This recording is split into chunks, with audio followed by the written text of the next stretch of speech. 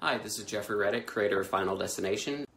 Greetings, slashaholics. This is David Bergantino, author of the Freddy Krueger's Tales of Terror books, the Bard's Blood horror Shakespeare books. Hey guys, this is Jason Brooks, Jason Voorhees from Friday the 13th Vengeance. Hey, this is Slasher Pepper. Hey everybody, it's CJ Graham, Jason, Friday the 13th, Part 6. This is William Pattison, known to Friday the 13th fans as Eric Morris. Hi, this is Deborah Voorhees from Friday the 13th, Part 5.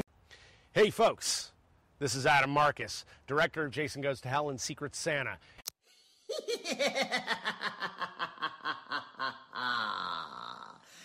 Hello, kiddies. This is John Kassir, the voice of the Crypt Keeper. Hi, this is Kane Hodder. Better known as Jason from Friday the 13th, Victor Crowley from Hatchet. And you are listening. You're listening. And you're listening. And you're listening. Just want to make sure you guys know you're listening. You are listening. And you are listening. And you are lucky enough to be listening. Okay, boils and ghouls, you are listening. You are listening to, To the 80s Slasher Librarian. To the 80s slasher librarian. To the 80s Slasher Librarian. The 80s Slasher Librarian. To the 80s Slasher Librarian. To 80s Slasher Librarian. To 80s Slasher Librarian. To the 80s Slasher Librarian. To the 80s slasher librarian. to the 80s Slasher Librarian. Keep listening, or I'll kill you. Hey Slashaholics, be sure to subscribe to the channel, click that bell for notifications on all upcoming uploads, and be sure to smash that like button. And tonight's upload is brought to you by our patrons over on the Patreon page. That's Bonanza Jellybean, Bree, Carl Eakins, Cecilia Spears, Allison Sibe, Hawaii, Iron Alexa, Catherine McClear, Cayenne Tez, Ryan Woodward, Sean Campbell, and TikTok 12. Thank you all so much for supporting the channel through Patreon. You guys are the reason the channel keeps going. And if anybody listening right now enjoys the content here on the 80 Slasher Librarian YouTube channel and would like to help the channel continue to go and grow for years to come, please take the time to head over to the Patreon page where you can sign up for as low as 2 to $5 per month. You help the channel keep growing because we're not able to monetize it here on YouTube because the uh, copyright holders get all the ad revenue. So I depend on you listeners to take the time to sign up on Patreon. And I do offer some great rewards for you depending on the tier you select. Some of those rewards include early access content before it reaches YouTube, free slasher ebooks sent to you via email, free merch from the merch store, guest spots in upcoming narrations where you can voice a character in audiobooks monthly, and guest spots on the podcast, and much more. So just head over to Patreon, check it out, find the tier that's right for you to get the rewards you want and to support the channel. If you appreciate what I'm doing here on the channel, then I would greatly appreciate your support on Patreon.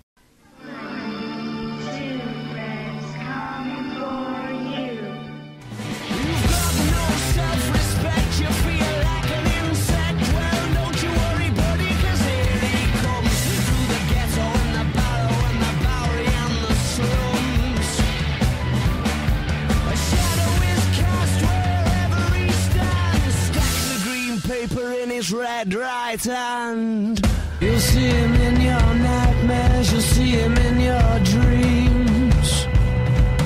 He'll appear out of nowhere, but he's not what he seems. You'll see him in your head and on the TV screen. Hey, buddy, I'm warning you to turn it off. He's a ghost, he's a god, he's a man, he's a guru.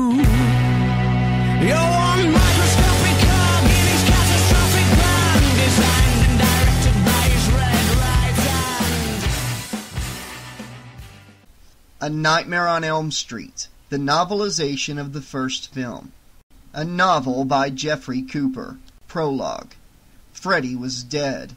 The good people of Elm Street had seen to it that the Springwood slasher would never bother anyone ever again. Ten years had come and gone since then, and only now were the good people of Elm Street beginning to sleep peacefully at night, safe and warm in their cozy suburban bedrooms. Freddy was dead and gone, but the nightmare was just about to begin.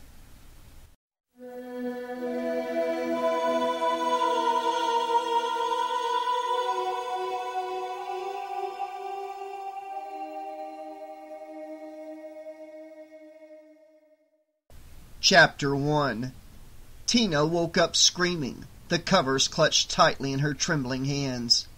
Are you all right? asked her mother from the doorway. Sure, Ma, whispered Tina. It was just a bad dream. Just a bad dream, she repeated to herself, trying very hard to believe her own words. Tina had not lived fifteen years without suffering an occasional bad dream. But this dream was not like anything she had ever known before. There was something evil about this dream. It had started innocently enough. Tina was lost in a vast room full of thick, leaky pipes and pounding machinery. It was a boiler room, similar to the one at school, only it was unbelievably large, and Tina was wearing the same thin nightgown she had gone to sleep in. Despite the steam that pervaded the stifling air, she had felt chilled to the bone as she wandered aimlessly through iron doorways and along ramps and down metal ladders that seemed always to lead nowhere. And she remembered animal noises. A lamb had bleated, and Tina's heart had begun to pound furiously in her chest. What a lamb was doing in the boiler room in the first place, and why its bleeding should be so terrifying, were questions Tina couldn't have answered, even if her life had depended on it. And why did she feel that it might? Then there was the fabric, a dirty piece of cloth hanging in the middle of nowhere. And suddenly it tore open with a terrible ripping noise, as four gleaming blades like steel fingers glittered threateningly into the murky darkness. Tina began to run, but she was thoroughly lost and didn't know which way to go. There was a horrible screeching sound as the steel blades scraped against the iron pipes like fingernails on a chalkboard, or the high-pitched whine of a dentist's drill as it digs painfully into an exposed nerve. And Tina kept running, knowing that her life depended on escape, but knowing too that ultimately there could be no escape. And then she stopped to catch her breath and wipe away the sweat that streamed down her face in hot rivulets. And for one sweet moment, Tina felt safe. Perhaps, she thought, just perhaps, there might be a way out after all. And that was when the man with the razor blade fingers loomed up behind her, clawing at her nightgown with insane fury as he enfolded her in his deadly arms. It was Tina's scream that had awoken her and summoned her mother to the bedroom. You sure you're all right? her mother asked again, still leaning up against the door jamb. It was just a dream, repeated Tina. It must have been some dream. Mrs. Gray shook her head slowly from side to side as she gazed at her daughter's nightgown. Tina looked down, suddenly aware of the four long slashes up the middle of her favorite nightgown. You better cut your fingernails or stop that kind of dreaming, said her mother. One or the other. She looked at her daughter one more time and then quietly shut the door behind her. Instinctively, Tina reached back and removed the crucifix that hung on her bedroom wall.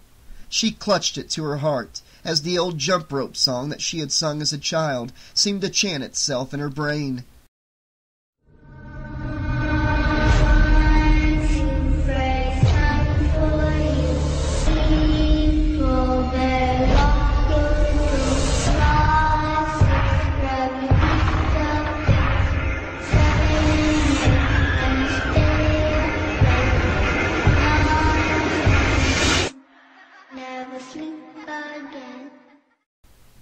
That's what it reminded me of, Tina told her best friend Nancy Thompson the next morning. That old jump rope song? Worst nightmare I ever had. The girls had just stepped out of Glenn Lantz's old red convertible. Glenn had already taken Nancy's books as the three young people strode briskly toward the old high school building. As a matter of fact, said Nancy, I had a bad dream last night myself. Tina was about to ask Nancy about her dream when Rod Lane trotted up from behind and draped his right arm over her shoulders. I had a hard on this morning when I woke up, Tina, he said. Had your name written all over it. Tina looked at the boy and shrugged off his arm. There's four letters in my name, Rod, she said. How could there be room on your joint for four letters? Nancy and Glenn laughed out loud. Despite Tina's flip attitude toward the boy, Nancy knew that her friend really liked him.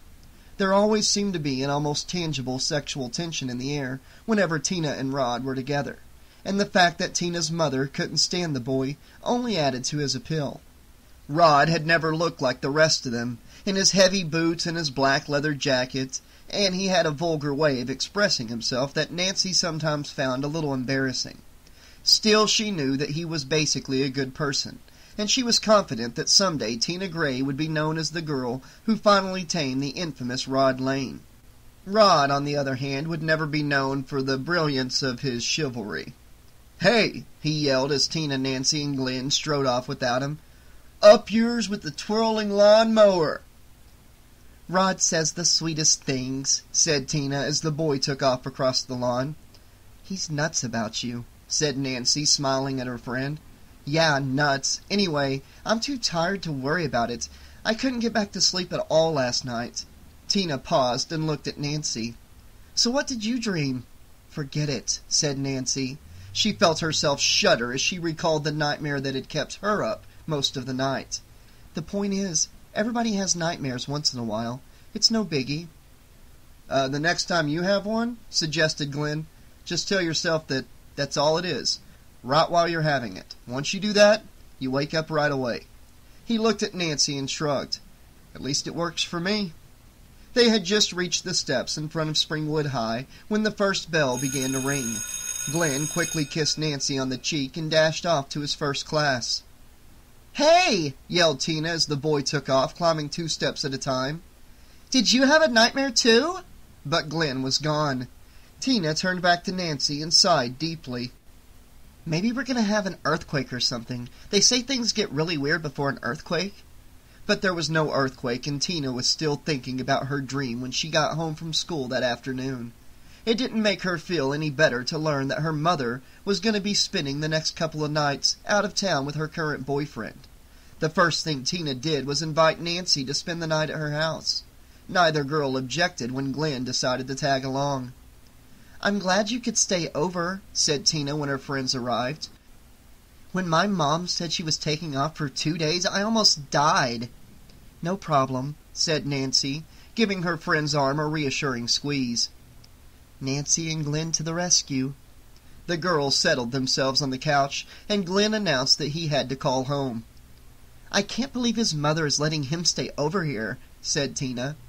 Well, said Nancy with a mischievous smile, she isn't exactly. The girls watched as Glenn inserted a cassette into the oversized tape player he had placed on the table next to the telephone. I've got this cousin who lives near the airport, he explained while he waited for his mother to pick up the phone. So I've borrowed this sound effects tape. Hello, Mom? He pushed a button on the tape player, and the sound of a 747 coming in for a landing suddenly filled the room. Yeah, I'm, I'm out at Barry's, he said. He grinned at the girls, and Nancy put a hand over Tina's mouth to stop her from laughing. Yeah, noisy as usual. Glad we don't live here. What? Oh, Aunt Eunice says hello. The roar of the jet was overwhelming now, as if Glenn were standing in the middle of the runway. I'll call you in the morning, he shouted, his lips pressed up against the mouthpiece. Don't worry, I.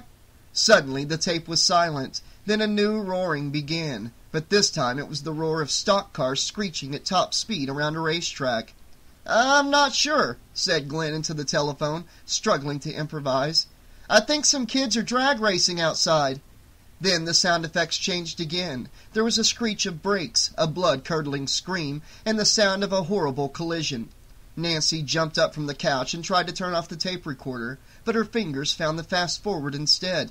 I gotta go, Mom, said Glenn, glaring at Tina as she dissolved into laughter on the couch. I think there's been an accident out front. Meanwhile, Nancy had managed to turn the machine back on, but now they were in the middle of a full-scale war, complete with chattering machine guns and exploding bombs. Right, shouted Glenn. I'll call the police. No, no, just some neighbors having a fight, I guess. I'm fine, Mom. No, uh, no, I'll call, I'll call, I'll call you in the morning. At last, Nancy found the stop button, and the room was filled with blessed silence. Worked like a charm, said Nancy as she and Tina exploded with laughter.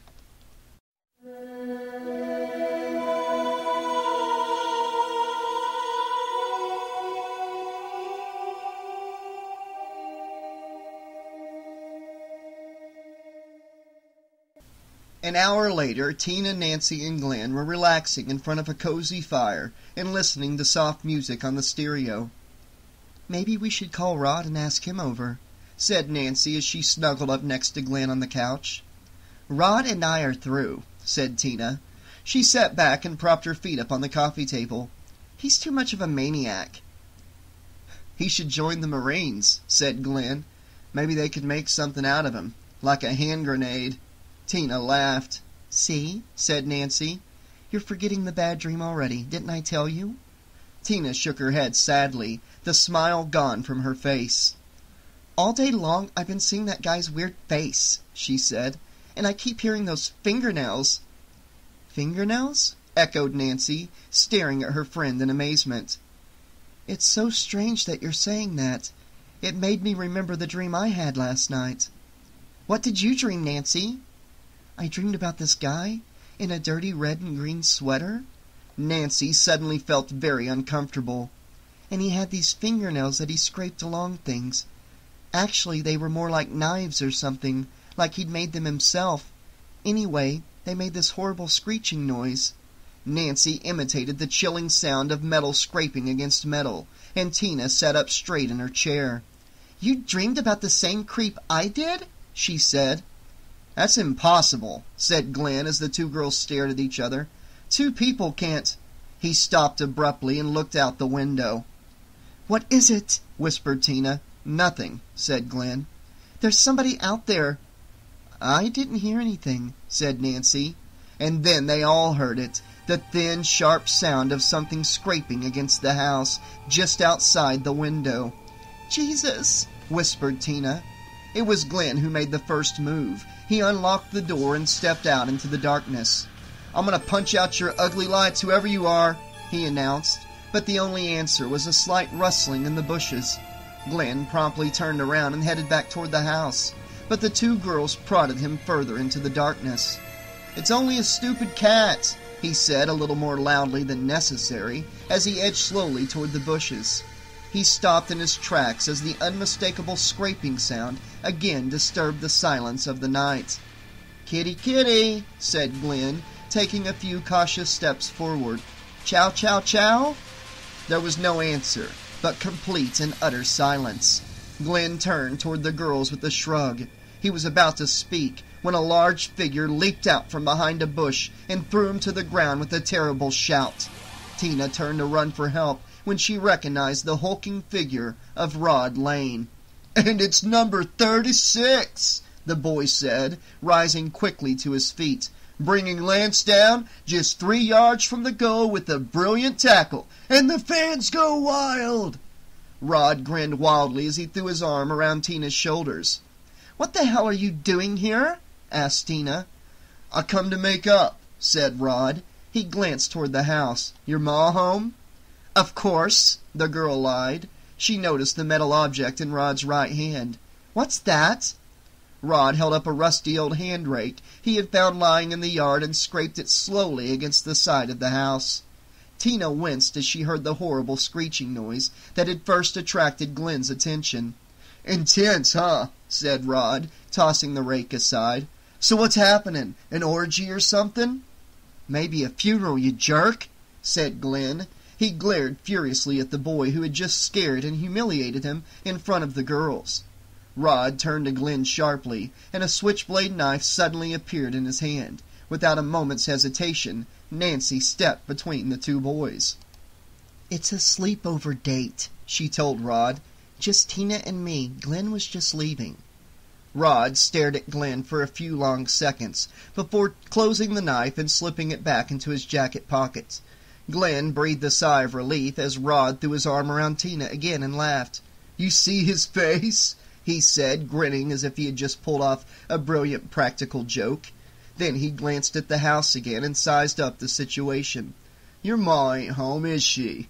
Without waiting for an answer, he took Tina by the arm and began dragging her toward the house. Me and Tina got stuff to discuss, he said. We got her mother's bed, you two got the rest. Nancy waited uncertainly for a few seconds and then turned to Glenn. We should get out of here, she said. Before Glenn could reply, Tina reappeared at the front door. The top buttons of her blouse were already undone. You guys are hanging around, right? she said. Don't leave me alone with this lunatic. Nancy watched as her friend disappeared back into the house. She knew Tina really wanted to spend the night with Rod, and yet. So we'll guard her together, said Glenn, interrupting her thoughts. Through the night. Nancy looked at Glenn and nodded. We're here for Tina, not for ourselves, she said. Okay? In other words, Glenn thought as he nodded in agreement, I'm sleeping on the couch. Sometimes he wished that Nancy could be a little more like her friend Tina. Why was she so bothered by a stupid nightmare anyway? he asked as they began walking back towards the house. Because it was scary, that's all. Don't you think it's weird both of us dreaming about the same guy? Glenn looked away, and Nancy felt a sudden chill. You had a dream last night too, didn't you, Glenn? Glenn shrugged his shoulders. I never remember my dreams, he said. All I know is my mom's going to kill me when she does the wash. I, I practically ripped my sheet in half. Nancy wanted to continue the conversation, but it was getting late, and she was suddenly feeling very tired. She went inside with Glenn and kissed him good night. Then she locked herself in Tina's bedroom, leaving Glenn to make himself as comfortable as possible on the living room sofa. Glenn was feeling tired too, and he might have fallen asleep immediately if it weren't for the sounds of passionate love-making that emanated from Tina's mother's bedroom. Glenn couldn't help thinking about Rod and Tina furiously copulating upstairs while he and Nancy spent the night in separate rooms. Morality sucks, he said softly. Then he pulled the covers up over his head and tried to get some sleep.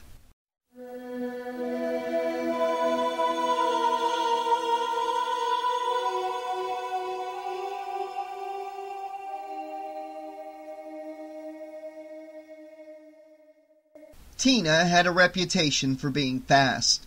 It wasn't something she was especially proud of, but it wasn't anything she lost sleep over either. Tina knew she didn't really deserve her reputation. Sure, she had slept with a few boys, but that didn't mean she was some kind of pushover. She liked sex, and she knew how to protect herself. If she wanted to fool around once in a while, Tina figured it was nobody's damn business but her own. I knew there was something about you I liked, she said, as she snuggled closer to Rod in her mother's bed that night. You feel better now, right? he asked with a satisfied grin. Jungle Man fix Jane, said Tina. Rod was definitely a little rough around the edges, but there was a vulnerable side to the boy that really turned Tina on. No more fights? said Rod, his hand resting on Tina's small breast. No more fights, she agreed, feeling very sleepy and content. She thought about Nancy sleeping alone across the hall. It was hard for Tina to understand how her best friend could go out with a nice boy like Glenn for so long without wanting to go all the way.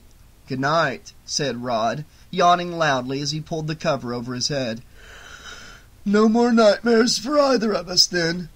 Suddenly, Tina felt a cold chill race down her spine. When did you have a nightmare? she asked. Guys have nightmares too, said Rod. You girls don't exactly corner the market on dreams and nightmares. Tina stared at the unmoving figure beside her for a moment and then took a deep breath. She was glad to be here with Rod, and she wasn't going to let some dumb nightmare ruin things for her. Besides, she felt safe with Rod at her side. She watched him for a moment as he slept and then turned out the light. Tonight, I'm finally going to get a good night's sleep, she thought, even if it kills me. She had not been asleep long when she heard the noise. At first she thought it was just the faucet dripping. She tried not to pay attention, but the pinging noises were too loud and too persistent to be ignored. Rod, she whispered, but the boy only snored steadily beside her. She sat up in bed, wondering how Rod could sleep through all the racket. There was another ping, and Tina realized it was coming from outside. She stepped into her slippers and reached the window in time to see a pebble bounce off the glass. Jesus, she whispered. It was windy out, and the trees were blowing wildly in the darkness. Suddenly, a large stone smashed into the glass, startling Tina as a thin and ragged crack appeared inside the window pane. Somebody threw that, thought Tina, suddenly furious at whoever was out there, disturbing her precious sleep. Without thinking, she dashed down the stairs and stepped out into the darkness. Who are you? she demanded. For a moment, she considered going back inside to get her robe, but something seemed to be compelling her to step farther into the blackness instead. Then she was at the gate, stepping outside before turning around to look at the house. Only she couldn't see the familiar old house on Elm Street anymore. Instead, she seemed to be in an alley that she vaguely remembered seeing before in a dream. It was completely quiet now, except for the rushing of the wind. Then the metal lid of a trash can came clattering down the alley, crashing to a halt at Tina's feet. She stared at the lid for a moment and took a deep breath to calm herself. She was still assuring herself that everything was all right when she heard the horrible scraping of metal on cinder block. And there in the darkness she saw the man from her nightmare, his steel finger knives raising bright yellow sparks as they screeched horribly along the alley wall.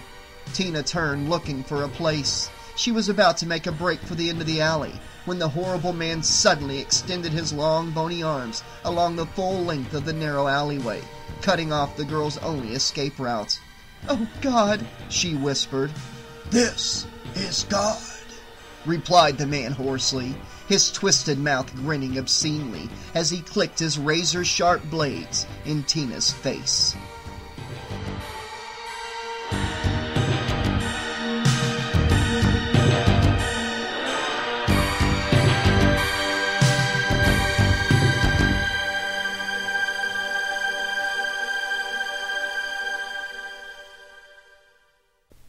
Chapter 2 And then Tina was running. She didn't know how she slipped past the man in the red and green sweater, and there was no time to stop and think it over.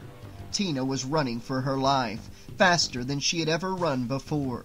But as fast as she ran, the man with the deadly finger knives was never more than a few steps behind her. Tina was gasping for breath now, knocking over trash cans to slow down her pursuer but nothing she did seemed to make any difference. Whenever she glanced over her shoulder, there he was, his hideous face leering at her from beneath his crumpled fedora, and his deadly blades glittering in the moonlight. Then abruptly, Tina was no longer on the city streets, running instead across what seemed like an endless stretch of identical suburban lawns. Tina shouted for help, sure that someone would hear her and save her from the maniac who seemed determined to kill her but there was no answer to her desperate cries, and the only sounds Tina could hear were those of her own labored breathing and the pounding of her bursting heart. And then she stopped for a second to catch her breath and looked behind her. There was no one there. Thank God, she thought, her lungs aching after her long, hard run. She looked around to get her bearings and suddenly realized that she was on her own block again. Boring old Elm Street had never looked lovelier. Tina took a deep breath and gazed fondly at the big elm tree that had stood at the corner for as far back as anyone could remember. And there stood the man in the filthy sweater, a look of mad triumph on his face. Tina didn't know how he had managed to hide behind the very tree she had been looking at, but there he was, large as life and a thousand times more frightening. Tina turned and ran, suddenly uncertain which of the almost identical houses on the block was hers. Then she saw it, the low brick wall her father had built in front of the house not long before her folks had split up.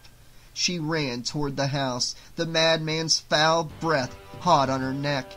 It seemed to take forever, but finally she reached the door and grabbed desperately for the knob. Locked.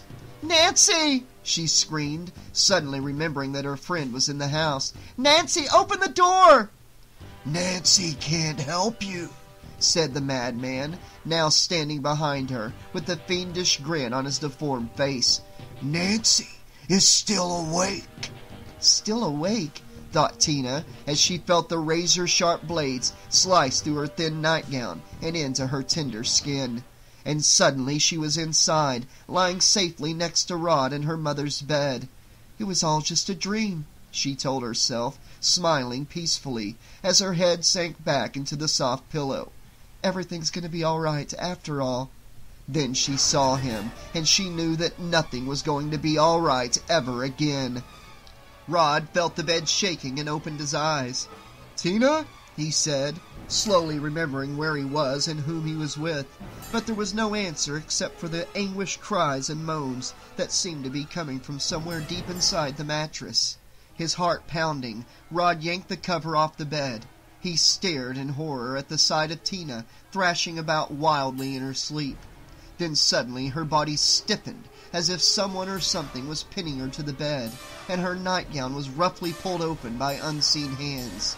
Rod watched helplessly as four long bloody gashes appeared across the girl's stomach, followed by four more and then four more, until Tina and the entire bed were soaked in a river of blood. Rod screamed and reached for the light. Suddenly, Tina's body rose from the bed as if lifted by invisible hands and swung through the air like a human baseball bat, knocking Rod to the floor. He lay there and watched in mute horror as Tina's mangled corpse slid feet first up the bedroom wall, leaving behind a trail of gore. What the hell is going on? Rod screamed, fighting back the tears and vomit as he watched the bloody pulp that was once Tina Gray hanging limp and lifeless from the ceiling suspended by some invisible and insanely sadistic power. His screams began in earnest as the girl's slashed remains plopped down like a sack of blood, splashing Rod and everything in the room as it hit the bed with a sickening thud. Nancy sat up in bed just as the body fell from the ceiling. She arrived at the bedroom door just moments before Glenn. What's going on? asked Glenn. I don't know, said Nancy, pulling on the door and finding it locked. From the other side she could hear Rod's desperate threats. Who did this? he screamed, glaring around helplessly in search of whoever or whatever had murdered Tina. I swear I'll kill you for this. Rod, said Nancy, pounding on the door, you'd better not hurt Tina. And then Rod began to make the horrible rasping noise that Nancy would never forget for as long as she lived. She was still trying to decide whether he was laughing or crying when Glenn barreled into the door like the star football player that he was. The door burst open, and Nancy rushed in and saw the blood, Tina's blood. The same blood that soaked the bed, the walls, the ceiling, and the curtains around the window through which Rod had made his escape. And then Nancy saw the hacked remains of her friend's body. She wanted to cry, but she didn't. Tears wouldn't bring Tina back to life, and they wouldn't catch the sadistic son of a bitch that had killed her. Someone would pay for this. Nancy swore it, even as the vomit began to surge upward from her throbbing guts.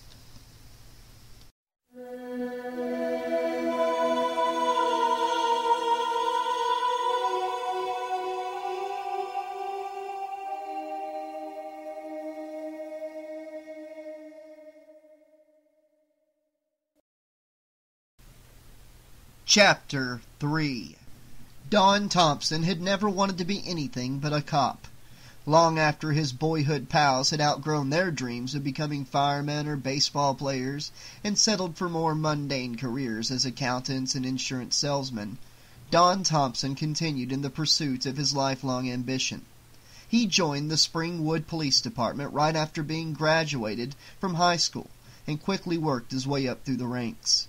By the time he earned his sergeant's stripes, Don Thompson was happily married to his high school sweetheart and the father of a beautiful baby girl. Unfortunately, Marge Thompson soon discovered that the life of a police officer's wife was not nearly so exciting or glamorous as she had hoped. By the time Thompson made lieutenant, he was a divorcee with an ex-wife who drank too much and a beautiful teenage daughter whom he didn't see nearly so often as he wanted to. Thompson was dreaming about the old days, when he and Marge were still able to carry on a civil conversation, when he was abruptly awakened by the emergency telephone call. He dressed quickly, gulped down a cup of coffee, and drove himself downtown to the police station. It was Jerry Parker, one of the new patrolmen, who met him at the door. What have you got? asked Thompson, getting right down to business as usual. He would never admit it to anyone, but this was exactly the sort of case he used to fantasize about when he was a little boy, dreaming about growing up to be a cop. Murders didn't happen every day in quiet suburban communities like Springwood, and the ones that did were usually open and shut cases of a drunken husband shooting his wife over some real or imagined infidelity. Razor was the weapon, according to the coroner, said Parker, glancing at the report in his hand. Or razors, more likely.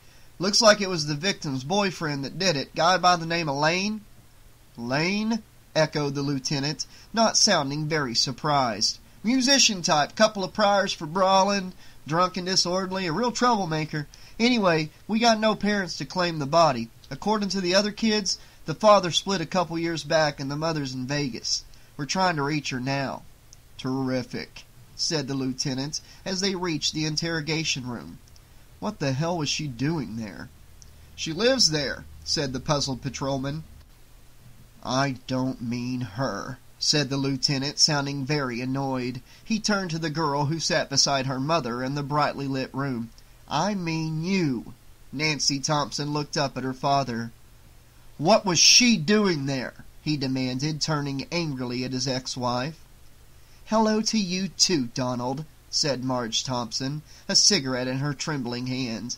Marge, he replied, struggling to control his quick temper. He took a deep breath and looked at Nancy. How you doing, baby? he asked, forcing himself to smile. I'm okay, Dad, said Nancy, disturbed by her father's unconvincing smile. She wondered if she looked anywhere near as bad as she felt inside.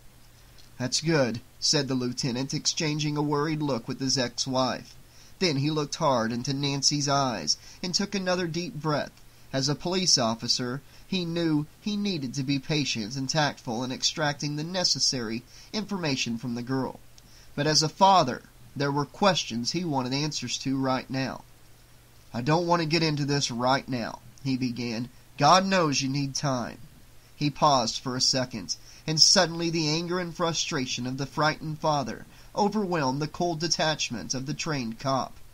But I'd sure like to know what the hell you were doing shacked up with three other kids in the middle of the night, especially when one of them is a lunatic delinquent like Rod Lane. Nancy recoiled as if she had been slapped. Rod's not a lunatic, she said, knowing even as she spoke how absurd her words must sound. You got a sane explanation for what he did, baby? Tell him how jealous Rod was, said Marge, placing a hand on her daughter's trembling shoulder. Tell him about the fight they had.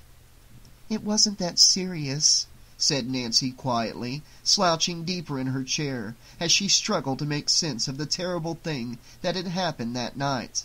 Not serious, said her mother. You don't think murder is serious?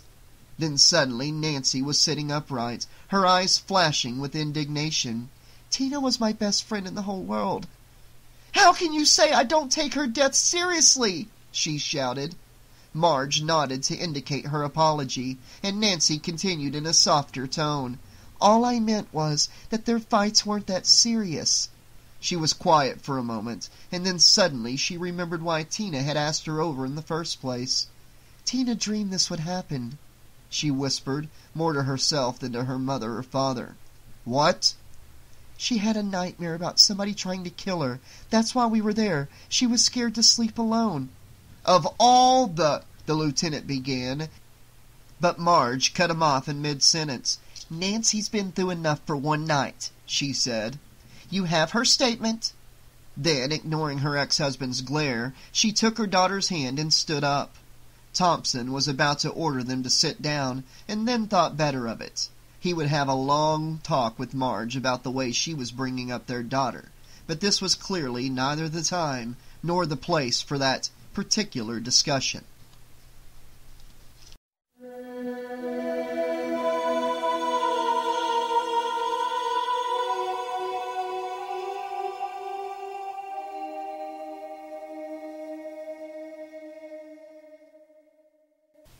Don Thompson was on the phone with his ex-wife early the next morning, while Nancy stood transfixed in front of the television and listened to the local news. In the headlines this morning, said the announcer, the brutal murder of a local teenage girl at an all-night party in Springwood. Police say the victim, 15-year-old Tina Gray, had been arguing with her boyfriend shortly before last night's bloody slaying. The boyfriend, Rod Lane, is now the subject of a citywide manhunt. According to police, the murder weapon appears to have been a straight razor or similar sharp object. I have to go, said Marge, promptly hanging up the phone as she rushed to turn off the television. She arrived too late to stop Nancy from seeing the film of the body bag being carried from Tina's house to the coroner's van. Marge wondered how much of his influence her ex-husband had used to keep their daughter's name out of the story and the reporters away from their door. Don't go to school today, kiddo, she said, taking Nancy in her arms and giving her a quick hug. You need your sleep. I heard you tossing and turning all night. I've got to go to school, Mother, said Nancy, gently freeing herself from her mother's embrace. Otherwise, I'll sit up there and go crazy. Did you sleep at all? I'll sleep in study hall, Nancy promised. I'd rather keep busy, you know. Marge nodded and kissed Nancy on the forehead. Sometimes she wished she were as good as her daughter was at handling difficulties. For Marge, booze had always seemed like the easiest way to make troubles disappear. Come right home after, she said. Right home, Nancy promised, hugging her mother one more time before picking up her books and heading off for school. Nancy had only walked a few blocks when she began to get the feeling that she was being watched. She turned around and noticed a tall man in dark glasses standing across the street. For a second she thought she saw the man staring at her. My best friend just got killed, she thought. I guess I'm entitled to be a little jumpy. She took a few more steps and then glanced back over her shoulder.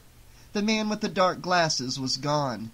Don't be paranoid, she told herself, although she couldn't imagine how the man had managed to disappear so abruptly. Then she took a deep breath of the fresh morning air and walked a little more quickly toward Springwood High. She was only a block away from school when a strong hand clamped over her mouth and she was dragged into the bushes. Nancy had barely begun to struggle when she realized she was being held by Rod Lane. Don't scream, he whispered. I'm not going to hurt you.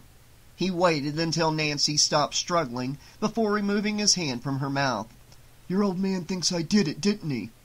Did you? asked Nancy, as calmly as she could with her heart pounding like a jackhammer. Of course not, said Rod angrily. I never touched her. You were screaming like a madman. Someone else was there, he said, knowing even as he spoke how crazy he must have sounded. Nancy looked at Rod for a long moment and shook her head. Instinctively she knew he was telling the truth, and yet the front door was still locked when the police came, she said, trying very hard to make sense of Rod's story. And the bedroom door was locked from your side. Don't look at me like I'm some kind of fruitcake, said Rod. I swear I never hurt Tina. Nancy nodded and was about to say that she believed him when she realized he was staring over her shoulder. Good morning, Rod, said a familiar voice. Nancy turned to see her father standing behind her, with his police 38 pointed squarely between Rod's eyes. Now just move away from her, son. Really easy, like your ass depended on it. Rod looked at Nancy for just a second, and then lunged wildly out of the bushes. Nancy stared in horror as her father raised his revolver to a firing position. No! she screamed, jumping between Rod and her father. Are you crazy? shouted Thompson, pushing Nancy aside as he took off after Rod. The chase was a short one. Rod had already been wrestled to the ground by the tall man in the dark glasses. Even as two uniformed policemen roughly shoved Rod into the squad car, Nancy could hear the boy insisting that he hadn't done anything. She waited until the car door slammed before turning angrily to her father. You used me? she said. What the hell did you expect? he asked, bewildered and more than a little annoyed by his daughter's attitude. And what are you doing in school today anyway? Nancy thought of a thousand things she wanted to say, but none of them seemed to express exactly what was in her heart at that moment. Instead, she simply turned away and strode briskly toward the school building. Hey, Nancy! the lieutenant shouted, but his daughter ignored him and kept on walking. He stood there staring and wondering what in the hell was going on. Guess I'll never understand women, thought Don Thompson, as he turned around and walked slowly toward his car.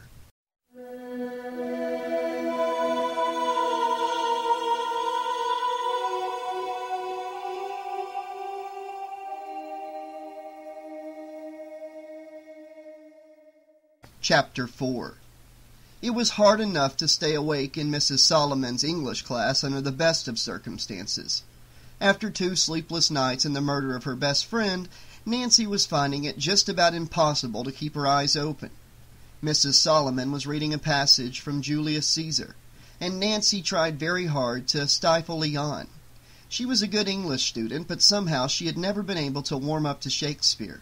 If only he had written in plain English and left out all those methinks and forsooths. In the most high and palmy state of Rome, read the teacher, her voice rising and falling dramatically as if to remind the class that they were listening to great poetry. A little ere the mightiest Julius fell. Nancy jerked her head up, suddenly realizing that her eyes had closed for just a moment. The grave stood tenantless, Mrs. Solomon continued, and the sheeted dead did squeak and gibber in the Roman street. Squeak and gibber? Nancy silently repeated, her head now resting comfortably on her upturned palm. She wondered how much longer it would be until study hall. It would be so nice to sit in the back of the auditorium with her eyes closed, maybe even to take a little nap before her next class. She closed her eyes for just a second, her breath slow and steady as the teacher droned on from the front of the room. Then she heard someone softly call her name, and her eyes snapped open. Tina? she whispered. She looked out into the hallway through the open classroom door and saw the body bag. It was the same size and shape as the bag she had seen on television, but it seemed to be moving ever so slightly. Nancy shook her head and wiped the sleep from her eyes with the back of her hand. When she looked again, the bag was gone. In its place was a long, dark smear of dried blood. Oh, God, continued Mrs. Solomon, I could be bounded in a nutshell and count myself a king of infinite space were it not that I have had bad dreams. Bad dreams? echoed Nancy silently, slipping out of her seat. No one paid any attention as she turned and strode purposefully out of the room. Then she heard Tina call her name once more. There, at the end of the hall, was the body bag, one pale hand hanging out through the partially open zipper. Nancy watched as the bag slowly slid out of sight, leaving a dark trail of slime in its wake.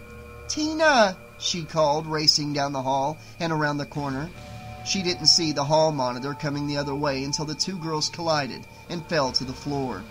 No running in the halls, said the girl with the oversized badge pinned to her sweater as Nancy rose quickly to her feet.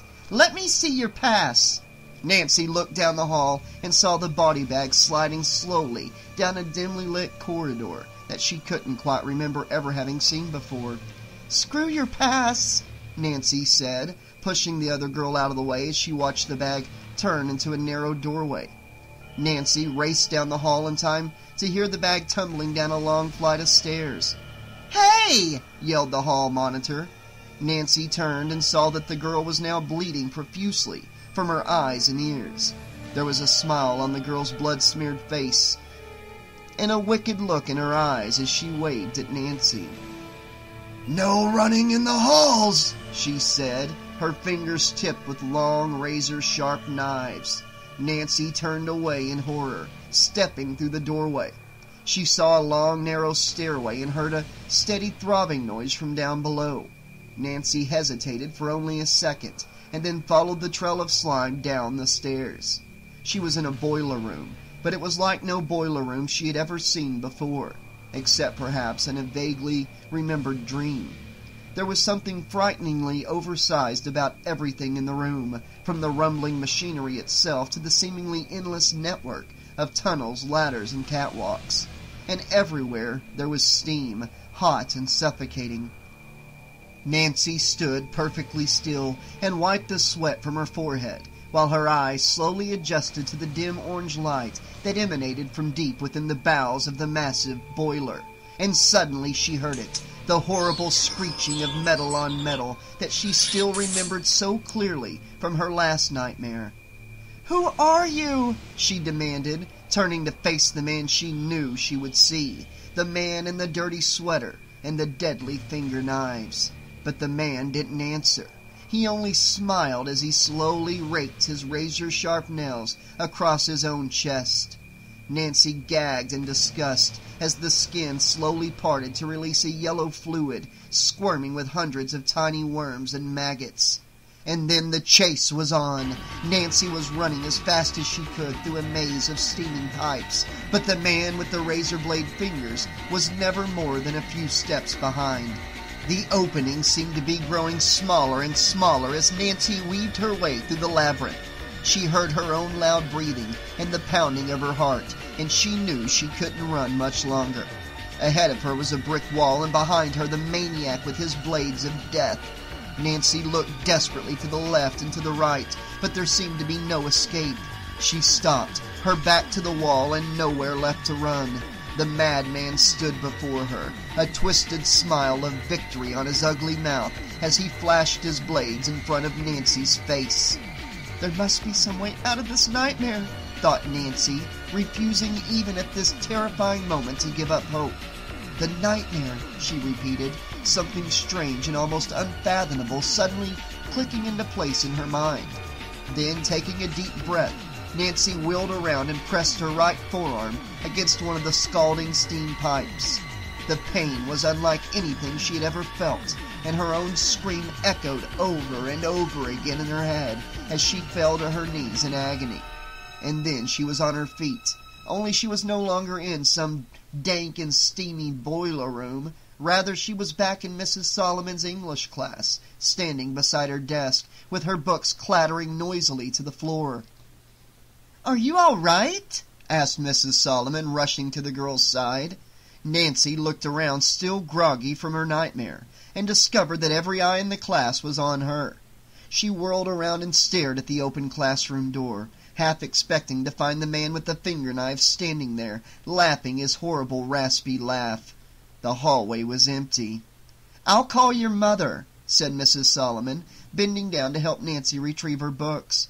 No, said the girl with more emphasis than she had intended. No, really, I'm all right. I'll just go home. She grabbed her books from the startled teacher and hurried quickly out the door. You'll need a hall pass, shouted Mrs. Solomon, but Nancy was already out of earshot. She didn't stop walking until she was out of the building.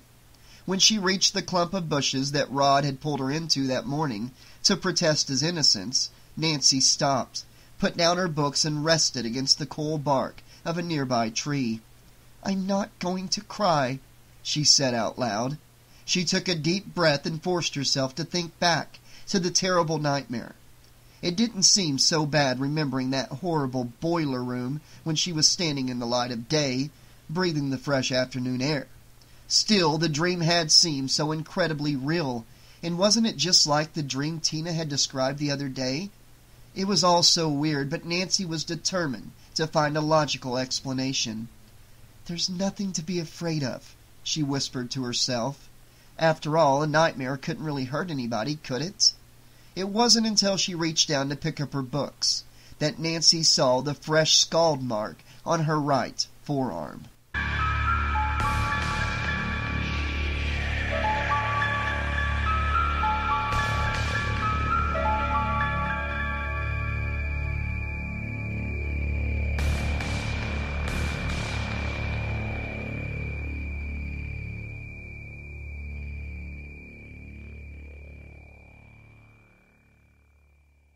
Is my dad there? Nancy asked the burly desk sergeant at the police station. Despite her promise, Nancy had not gone directly home. Instead, she had taken the bus to the police station where Rod Lane was being held on suspicion of murder. The sergeant looked at Nancy for a mo- moment and nodded, recognizing the same no-nonsense tone of voice he had so often heard from her father. The sergeant picked up his telephone, and a moment later Don Thompson stepped out of his office. Taking the day off after all? he asked, smiling at Nancy. He stopped smiling when he saw the grimly determined look on the girl's face. Dad, I want to see Rod Lane. Only family allowed, honey. You know the rules. I just want to talk to him for a second. The kid's dangerous. You don't know that he did it. No, I don't know for sure, the lieutenant conceded. What I do know is that he was in a locked room last night with a girl who went in alive and came out in a rubber bag. Nancy flinched as if she had been struck. I just want to talk to him, she said. Please, Dad. Her voice now soft and pleading. Lieutenant Thompson glanced at the sergeant. The man behind the big oak desk shrugged his shoulders and quickly looked away. You can't always go by the book, Thompson reminded himself. It was a principle that Marge had often insisted upon during the last stormy years of their marriage. Make it fast, he said, calling for a patrolman to show Nancy to the holding cell.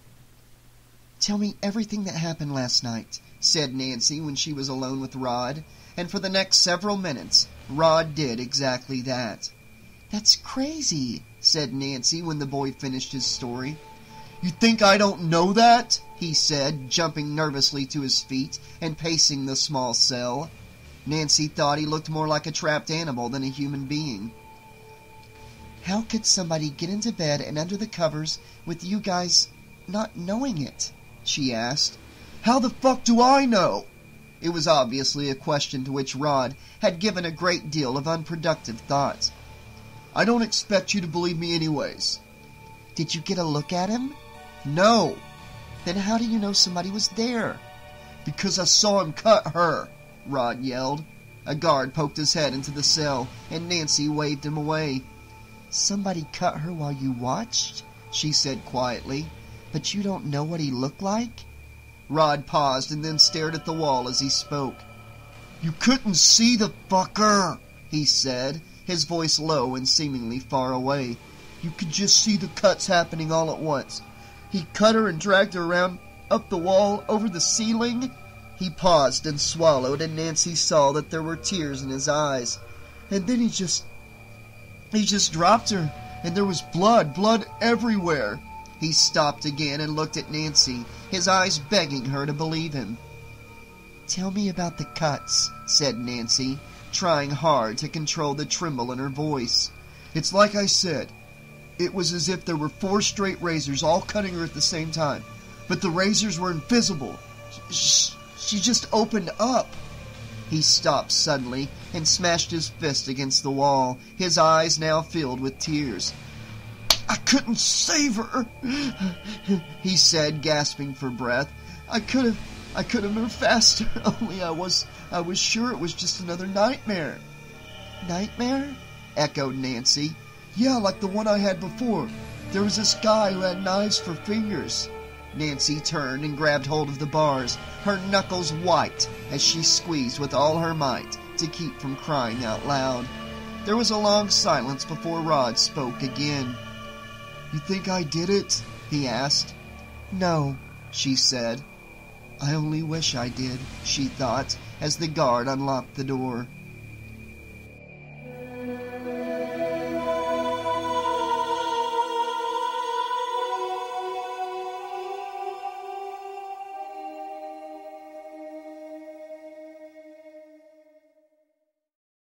Chapter 5 Nancy Thompson soaked peacefully in the bathtub, with her eyes closed, and prayed that the hot, sudsy water could somehow soothe away all of her cares.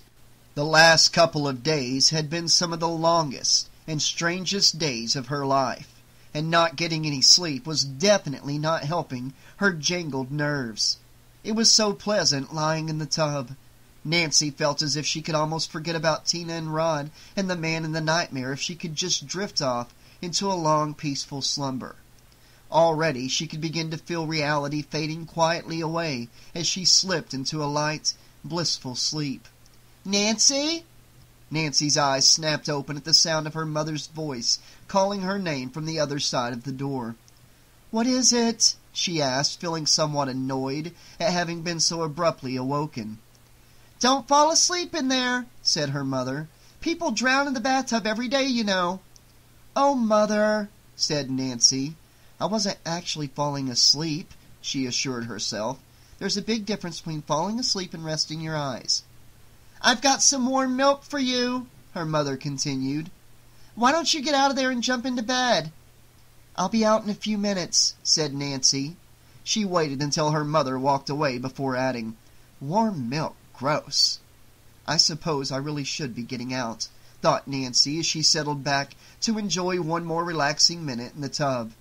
She closed her eyes again and began to sing softly the counting song she and the other neighborhood children used to sing when they were very small. One, two, Freddy's coming for you. Three, four, better lock your door. She stopped and yawned. The warm water felt so nice. And suddenly something was dragging her under the water. She tried to grab onto the sides of the tub, only it felt more like being in a bottomless well than a bathtub.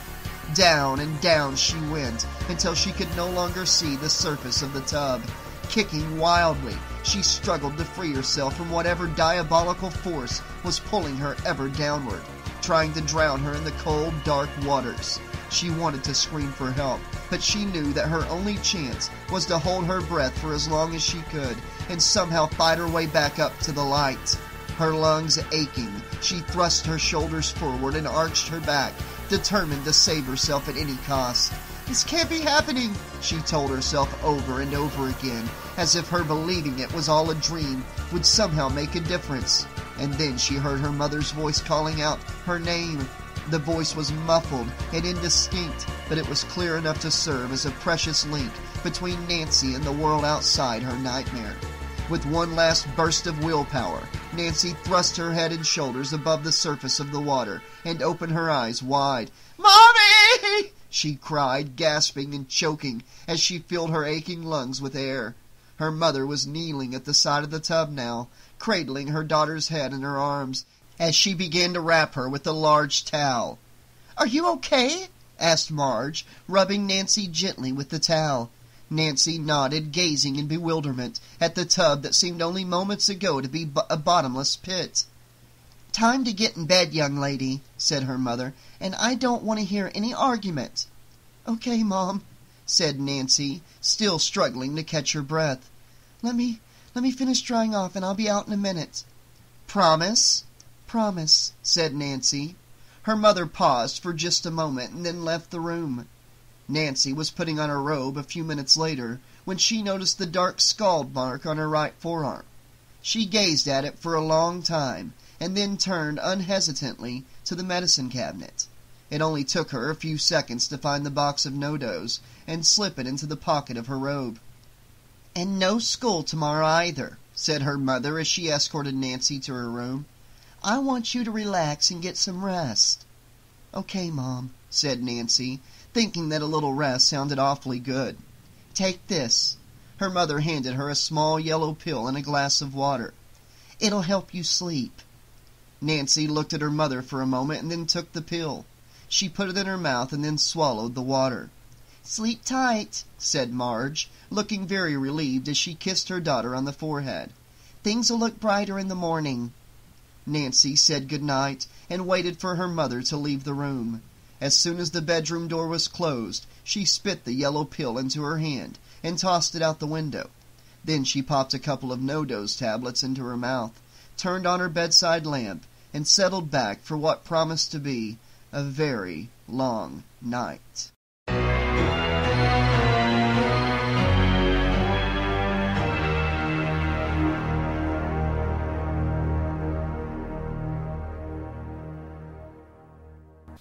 It was a little after midnight when Nancy heard the noise. Slowly, as if in a dream, she climbed out of bed and walked toward the window. It was a windy night, and Nancy could hear the rustling of the curtains in the window across the street as they blew gently in the cool night breeze. And then someone appeared out of the darkness. His hand clamped onto Nancy's mouth to muffle her scream. She was about to sink her teeth into the hand as hard as she could when she suddenly recognized a familiar class ring. It's me, whispered Glen, taking his hand away from her mouth. I saw your light was on, so I thought I'd see how you were doing. Nancy took a deep, calming breath and shook her head slowly from side to side. Sometimes I wish you didn't live right across the street, she said.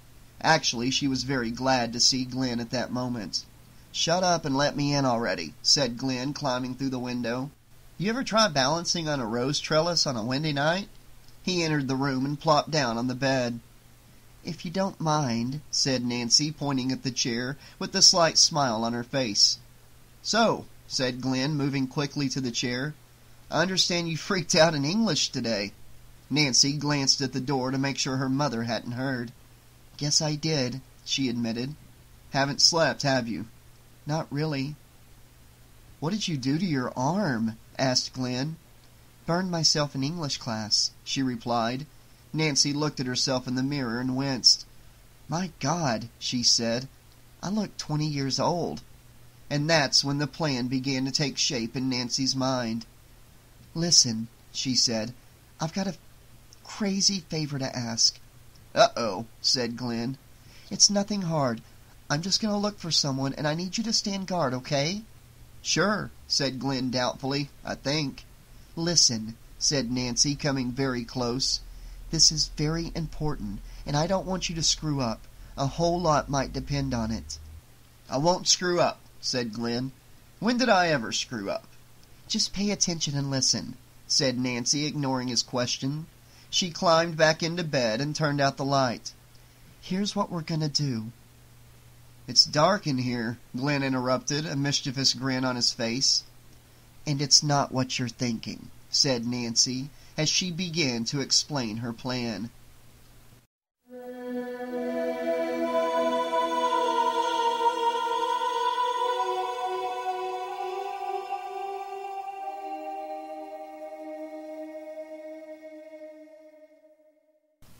Nancy is walking down Elm Street in her nightgown.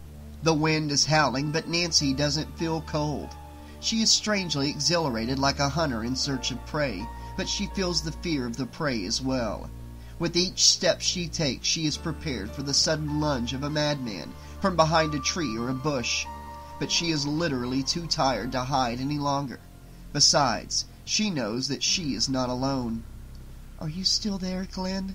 she whispers, and she hears the boy's reassuring reply as if from a great distance. Onward into the night she goes, and soon she is no longer walking past the neatly manicured lawns of suburban Springwood. It's darker now, and there's an alley up ahead. She hesitates for just a moment, and then enters deeper into the shadows in determined pursuit of her quarry. At any moment she expects to see the flashing of razor-sharp blades and she prays that she can do what needs to be done before it's too late. But nothing happens, and for a moment Nancy thinks that the waiting is no less terrifying than the confrontation that she both yearns for and fears. Glenn, she whispers. There is no answer. Glenn! She repeats a little bit louder as a drop of sweat drips off the tip of her nose. I'm here, says the voice, but this time it is followed by a loud yawn. Stay awake, Nancy commands, but Glenn doesn't reply. Suddenly, she is standing in front of the police station. There's a light on in the basement, and Nancy moves closer to peer inside. The window is barred, and through the window, she sees Rod Lane sleeping on a hard cot. He's tossing and turning, as if in the middle of some terrible nightmare. Nancy calls his name, trying to wake him, but it's of no use. He can't hear her and then someone is inside the cell with him, and Nancy knows at once exactly who it is. Glenn, she says in a loud whisper, but there is no reply. She calls his name again, but hears only the soft, steady sound of his snoring. And inside the cell, the man with the dirty sweater and the battered fedora is holding Rod's bedsheet in his powerful hands, twisting it carefully into an instrument of death as he steps slowly toward the boy's sleeping form. Without thinking, Nancy begins pounding on the glass behind the bars. Watch out! she screams. Rod rolls over with a troubled groan as the madman's eyes shift to the girl outside the cell. They are ugly, piggish eyes, and they are filled with a loathing beyond anything in Nancy's wildest imagination. As the monster takes a step toward Nancy, Rod sits up and opens his eyes. Suddenly, the madman is gone. Nancy screams Rod's name again, but the boy never looks in her direction. Instead, he throws himself back down on the cot and pulls the thin cover back over his broad shoulders. And there, once again, standing in the shadows, is the man with the red and green sweater. The twisted sheet clenched tightly in his hands. Suddenly, Nancy turns around and sees Tina staring at her from inside a body bag. The dead girl opens her mouth to speak, but only a long black centipede slithers out of her mouth. Nancy looks down to avoid her friend's dead eyes and sees an oozing mask of slimy snakes and eels swarming at the girl's feet. Glenn! she screams, turning her eyes away in disgust. She calls his name again, and this time there is a reply. The voice comes from directly behind her, but it's not the voice of Glenn Lantz. I'm here, croaks the madman, his foul breath hot on Nancy's exposed neck. Nancy pitches back just in time to avoid the deadly swoop of the creature's finger knives, and then she begins to run, screaming Glenn's name over and over again, but knowing that he won't answer. Knowing that he has finally screwed up when it really counted. And Nancy runs. She runs through city streets and down narrow alleyways, and always the man with the finger knives is running right behind. Her heart and lungs bursting, Nancy finds herself running down suburban streets that seem strangely familiar and yet totally alien at the same time. For a moment she thinks she sees her house, but it is merely some colonial style house with well cared for lawn, like millions of such homes in suburban communities all over the damn country. If I can get home, I'll be safe, Nancy tells herself, although she knows there is no logical basis for her belief. Still, with death just a few feet behind, a girl has to believe in something if she's going to survive. And then Nancy is on her own front lawn and racing toward the door. I don't have keys, she thinks, convinced for just a moment that the end is finally at hand. But the door is unlocked, and Nancy pushes it open before throwing all of her weight against the inside of the door and locking both locks from the inside. Glenn! she yells, but again she hears only his persistent snoring. Nancy looks at herself in the hallway mirror. Her face is dirty and smeared with sweat and tears.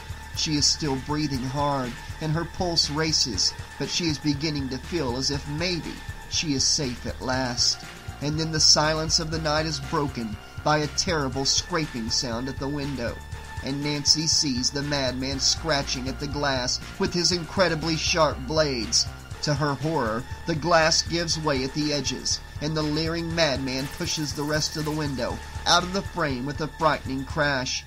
Jesus, says Nancy out loud as she runs up the stairs for the safety of her own private room.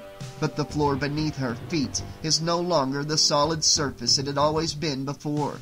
The soft, shaggy carpeting on the stairway has turned to something with the disgusting texture of quicksand, clinging to her ankles like warm molasses, slowing her movements to an agonizing crawl just when speed is most of the essence.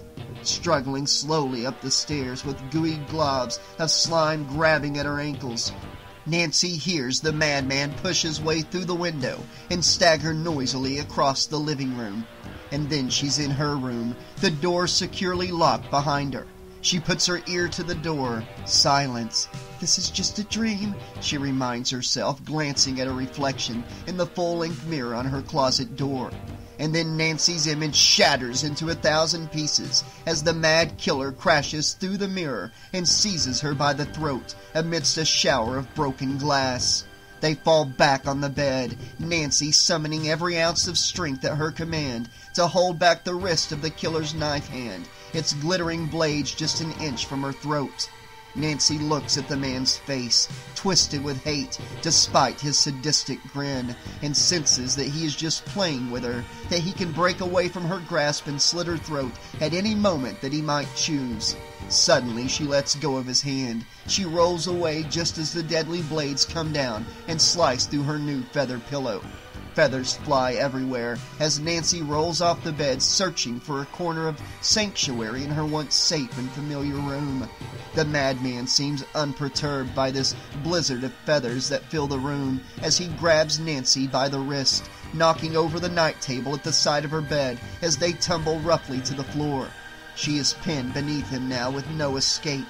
She looks into his hideous face and sees a look of triumph on his scarred features that fills her with loathing.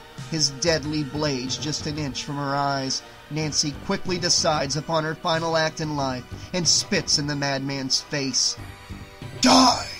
He whispers, and Nancy is prepared to do exactly that when the alarm clock at her side suddenly goes off with a deafening ring.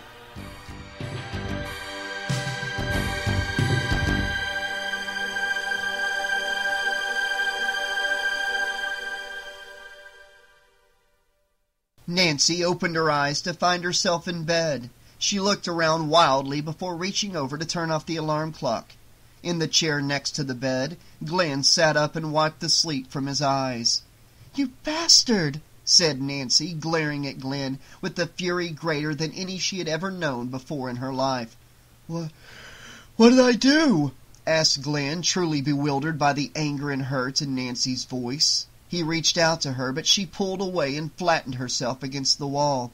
I ask you to do one simple thing, she said, her voice and eyes hard. Just stay awake and watch me. Just wake me if it looks like I'm having a bad dream. She paused and shook her head, overwhelmed by the enormity of Glenn's incompetence. And what do you do? You fall asleep! Glenn gazed at her in silence, unsure of what words to offer in his own defense.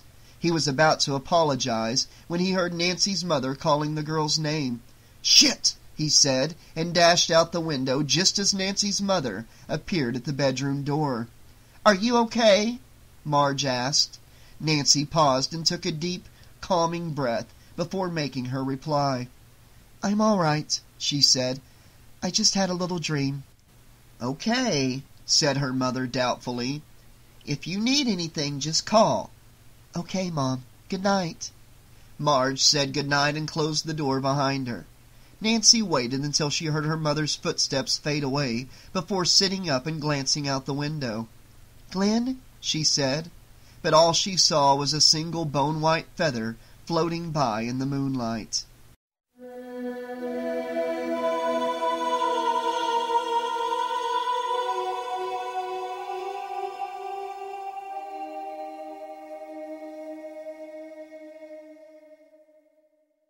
Chapter 6 I have to see Rod Lane right now, said Nancy.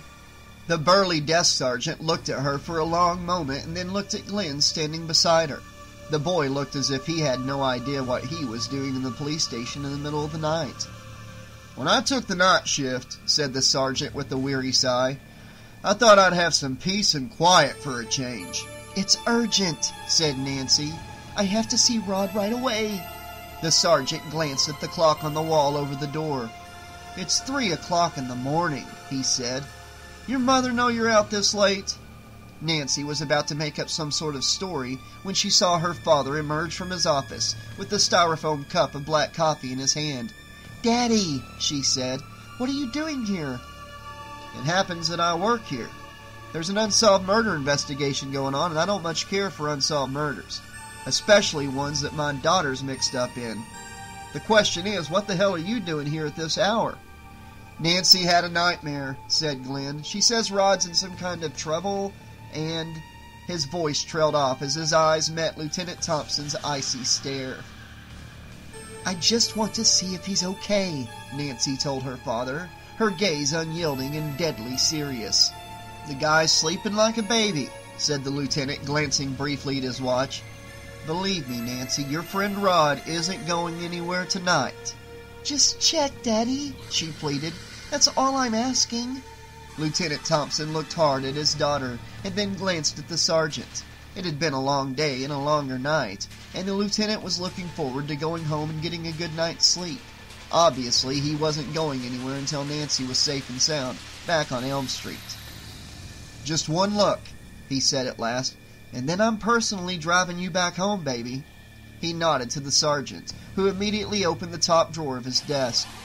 Now where the hell did I put that key? the sergeant muttered as he fumbled around in the open drawer. And while the sergeant looked for the key, Rod Lane slept in a locked cell in the back of the police station.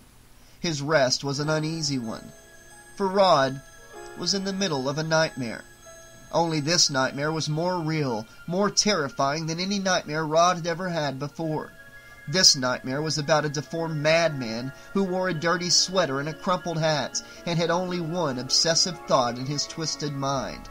The madman wanted Rod dead. And in his dream, Rod fought mightily with the man in the red and green sweater, knowing even as he struggled that his own mortal strength was no match for that of the maniac who was determined to take his life. If Lieutenant Thompson had arrived a few moments earlier, he would have seen Rod's bedsheet begin to move as if it had life of its own. He would have watched in stunned disbelief as the sheet slithered like some deadly snake, twisting tighter and tighter as it inched ever closer to the sleeping figure, then forming itself into a noose and slipping gently around Rod's throat, tightening suddenly around his windpipe with a terrible snap as it jerked the boy upright in bed his face contorted in a grotesque mask of frozen agony. Instead, Nancy and Glenn and the two policemen arrived at the cell just in time to find Rod Lane's lifeless body hanging from the bar of the high window. Shit! said Glenn, turning almost as pale as the sheet knotted tightly around Rod's broken neck. Give me a hand, said Lieutenant Thompson, rushing into the cell to cut the boy down. Together, Glenn and the two policemen lowered Rod's body and arranged it carefully on the unmade cot from which it had been roughly dragged by unseen hands only moments before. Nancy's father looked at his daughter with an expression halfway between anger and total bewilderment. After all his years on the force, Don Thompson was sure that he knew a potential suicide when he saw one, and Rod Lane hadn't fit that pattern at all. How did you know this was going to happen? he asked but Nancy only gazed silently into the darkness.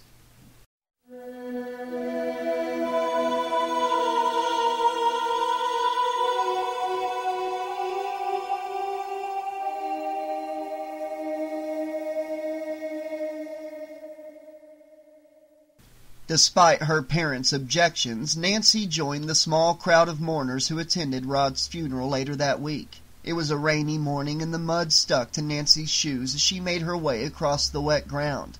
For some reason, she found herself thinking of the staircase at home. Ashes to ashes, dust to dust. The minister droned on and on, but nobody seemed to be paying much attention to what he was saying. Rod had never been the sort of boy who attended church, and Nancy doubted that he would have approved of the Bible quoting minister who now presided over his funeral. He who lives by the sword shall die by the sword, said the minister, as Nancy spotted Tina's mother in the back of the crowd. Nancy wondered if Mrs. Gray really believed that it had been Rod's switchblade knife that had brought her daughter's life to such a bloody end. And may Rod rest in peace, the minister concluded. Nancy stepped forward and tossed a handful of dirt into the shallow hole that would be Rod's resting place for eternity or until the worms finished with thought Nancy with a grim smile as she watched the casket being lowered into the ground. Time to go home, said Marge Thompson, gently taking her daughter by the hand. Nancy looked at her parents, silently noting that it had taken the murder of two of her friends to bring the three of them together again as a family. They walked toward the station wagon in silence, and it was not until Marge opened the door that Nancy finally spoke the thought that had been on her mind ever since she saw Rod's body hanging in the police station cell. The killer's still loose, you know. What are you talking about? asked Marge, convinced that a good night's sleep was all Nancy really needed. Are you saying somebody else killed Tina? asked Lieutenant Thompson. He was still trying to figure out how his daughter had foreseen Rod's suicide. Nancy stared off into the distance and shrugged her shoulders. I don't know who he is, she said, but he's burned, and he wears a weird hat and a dirty red and green sweater. Go on, said Thompson, his face suddenly drained of color.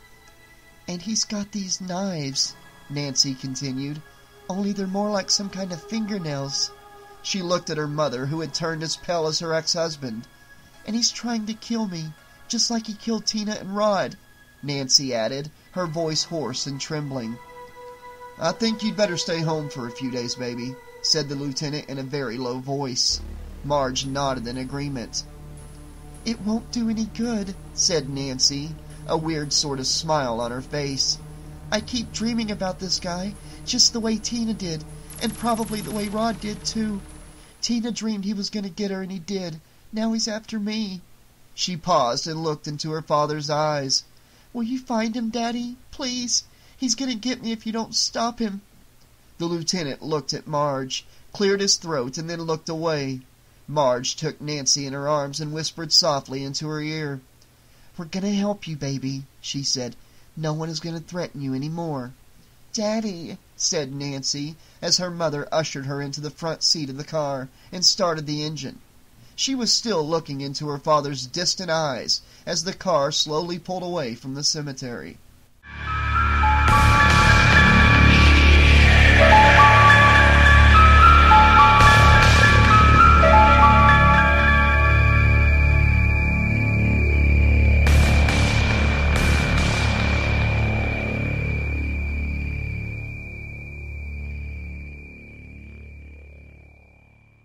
The Katja Institute for the Study of Sleep Disorders was a relatively new division of the university's world-renowned School of Medicine.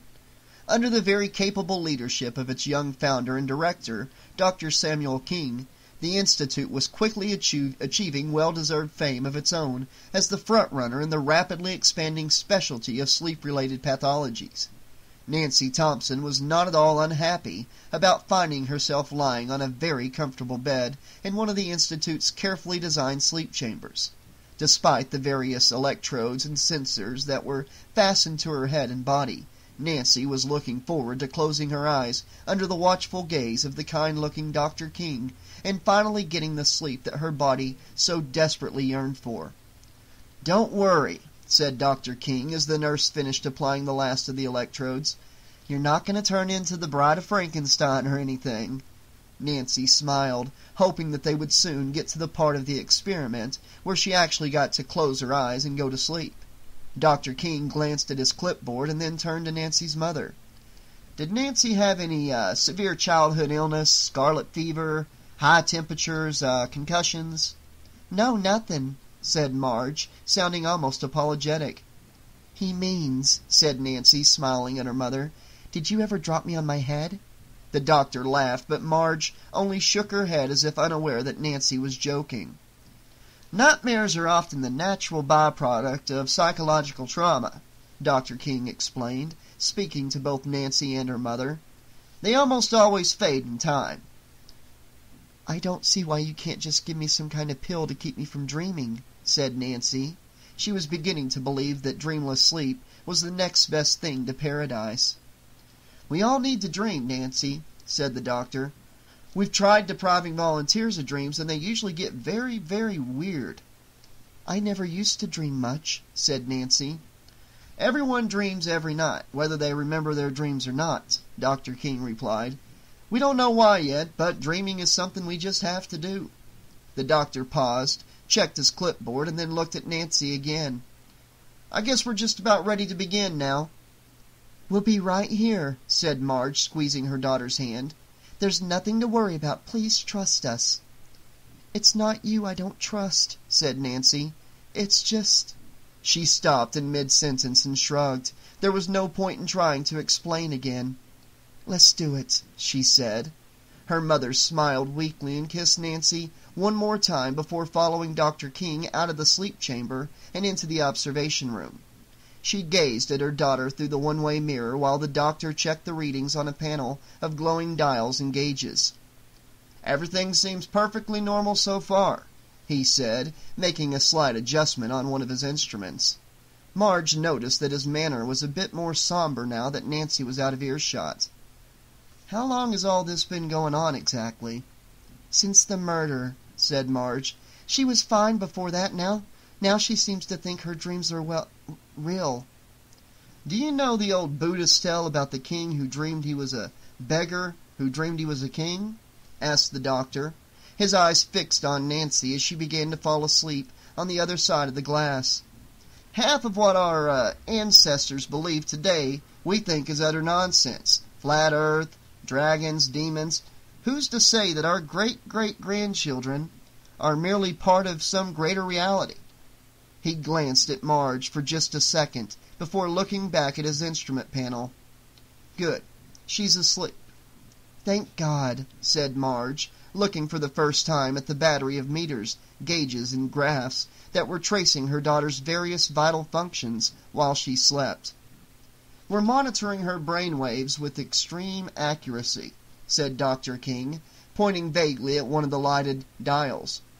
As soon as she starts dreaming, we'll know exactly what's going on. Marge sat back in her chair and took out a pack of cigarettes. She noticed Dr. King's disapproving look and put the cigarettes back in her purse.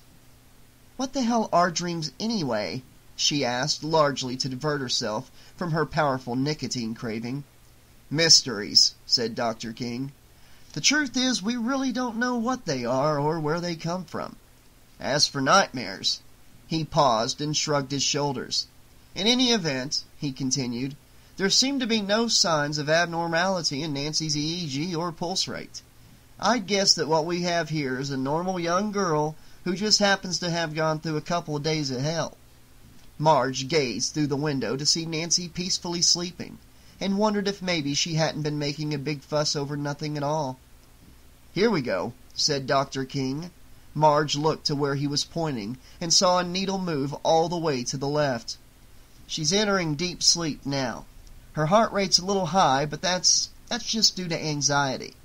This is the phase of sleep where dreams take place. He paused and smiled. Just about now, I feel like I'm monitoring a diver on the bottom of an unmapped sea.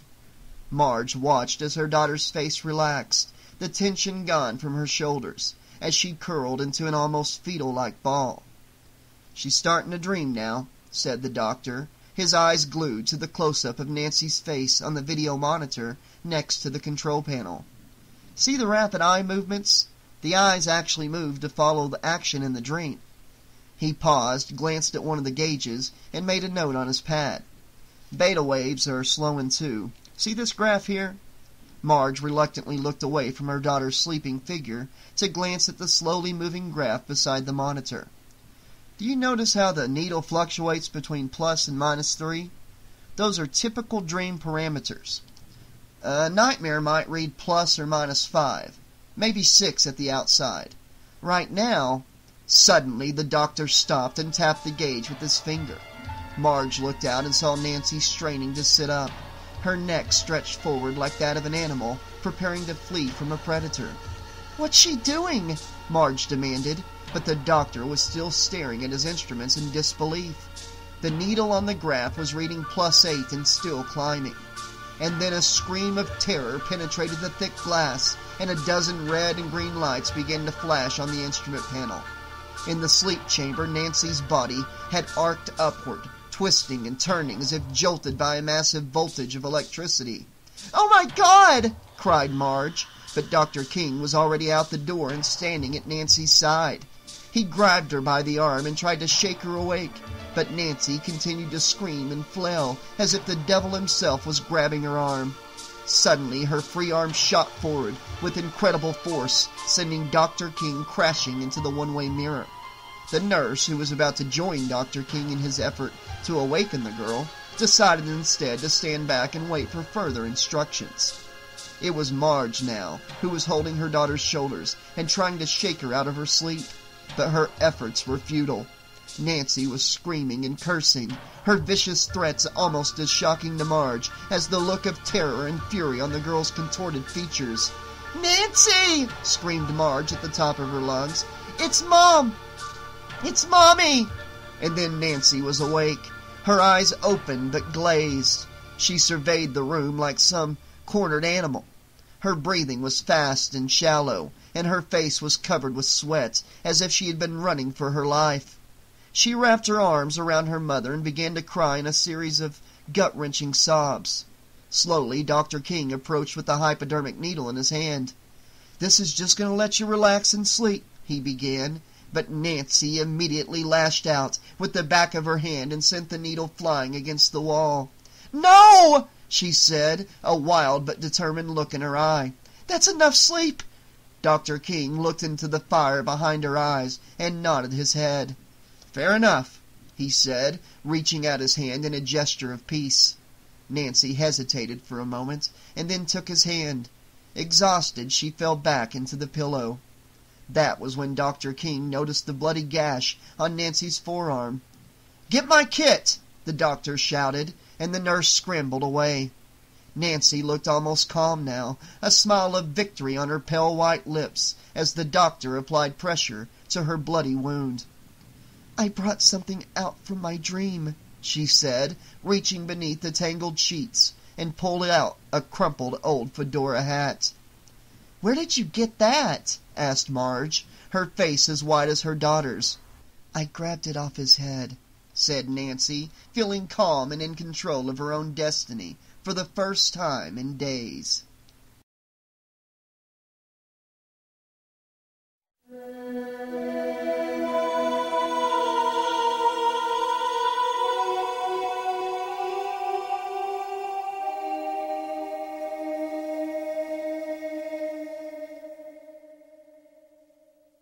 Chapter 7 Marge was leaning against the refrigerator, holding the filthy hat in her hand as she talked to Don Thompson on the phone. She said she snatched it off his head in a dream, Marge explained. She knew how crazy it sounded, and she wasn't surprised when her ex-husband expressed that very thought. I know it's impossible, she said, but I'm holding the damn thing in my hand. All I know is... She stopped abruptly at the sound of Nancy's footsteps on the hall stairs. I gotta go, said Marge, stuffing the hat into a drawer as she hung up the phone. Nancy didn't say good morning as she stepped into the kitchen and poured herself a cup of black coffee. Her skin had taken on a pale, almost translucent quality, and her eyes were ringed with dark circles. A streak of gray had appeared overnight in her uncombed hair. You didn't sleep again, did you? Said Marge, gazing uneasily at the bloody bandage on her daughter's right arm. Nancy just sighed and sipped the hot coffee. The doctor says you have to sleep or you'll go even crazier. No, no one thinks you're crazy, said Marge. Nancy looked at her and shrugged as if the question were irrelevant. Did you ask Daddy to have the hat examined? That filthy hat, Marge said, avoiding the girl's eyes. I threw that thing away yesterday. I don't know what you're trying to prove with it, but I'm trying to prove what I learned at the dream clinic, said Nancy, her eyes shining with her newfound conviction. I had it all wrong, Mom. I haven't I haven't been dreaming the future at all. I've been dreaming reality. Rod didn't kill Tina, and he didn't hang himself. It's this guy. He's after us in our dreams. First Tina and then Rod, and now he's after me. Marge shook her head violently from side to side. That's not reality, Nancy, she insisted. It's real enough for him to cut me, Nancy said, holding out her arm. Real enough for me to grab his hat and have it in my hand when I woke up. Marge opened her mouth, but no words came out. There were things she wanted to say, and yet...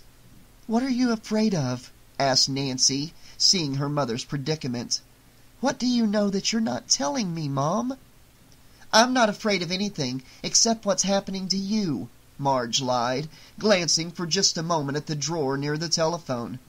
Nancy followed her mother's gaze and suddenly yanked the drawer open. Is this real? Nancy demanded, holding the hat triumphantly in the air. Is this just something I dreamed about? Give me that damn thing now, demanded Marge, but Nancy was too fast. His name is even in it, Nancy's heart was pounding as she looked inside the battered hat. Fred Krueger. Do you know who that is, Mom? You better tell me if you know, because he's after me now. Trust your mother for once, Marge begged, pouring herself a drink. Nancy knew that her mother had once had a serious drinking problem, but she had been assured time and time again that the problem was under control. Judging by the glazed look in her mother's eyes, Nancy guessed that the woman had been hitting the bottle pretty hard during the past couple of hours. You'll feel better as soon as you get some sleep. Feel better? Nancy held up her bandaged arm. You call this feeling better? Or maybe I should just grab that bottle and veg out with you, get good and loaded. Suddenly Marge reached out and slapped Nancy across the face. Damn it! said Marge, the tears welling up in her eyes as she snatched the hat away from Nancy. Fred Krueger is dead! Nancy stared at her mother in horror. You knew about him all along? she said, more outraged by her, her mother's act of betrayal than by her unprecedented physical assault. You knew who this maniac is, and you kept acting like he was someone, what, I made up? You're sick, Nancy, said Marge, turning away to avoid her daughter's eyes. You're imagining things. You just need some sleep, that's all. Screw sleep! screamed Nancy, sweeping her injured arm across the table and sending her cup of coffee crashing to the floor. She jumped to her feet, grabbed her jacket from the hook on the wall, and bolted towards the back door. Nancy! Marge shouted, her eyes filled with tears. It's just a nightmare, for God's sake! Nancy turned in the doorway and glared at her mother with eyes of rage. That's enough, she said before slamming the door behind her.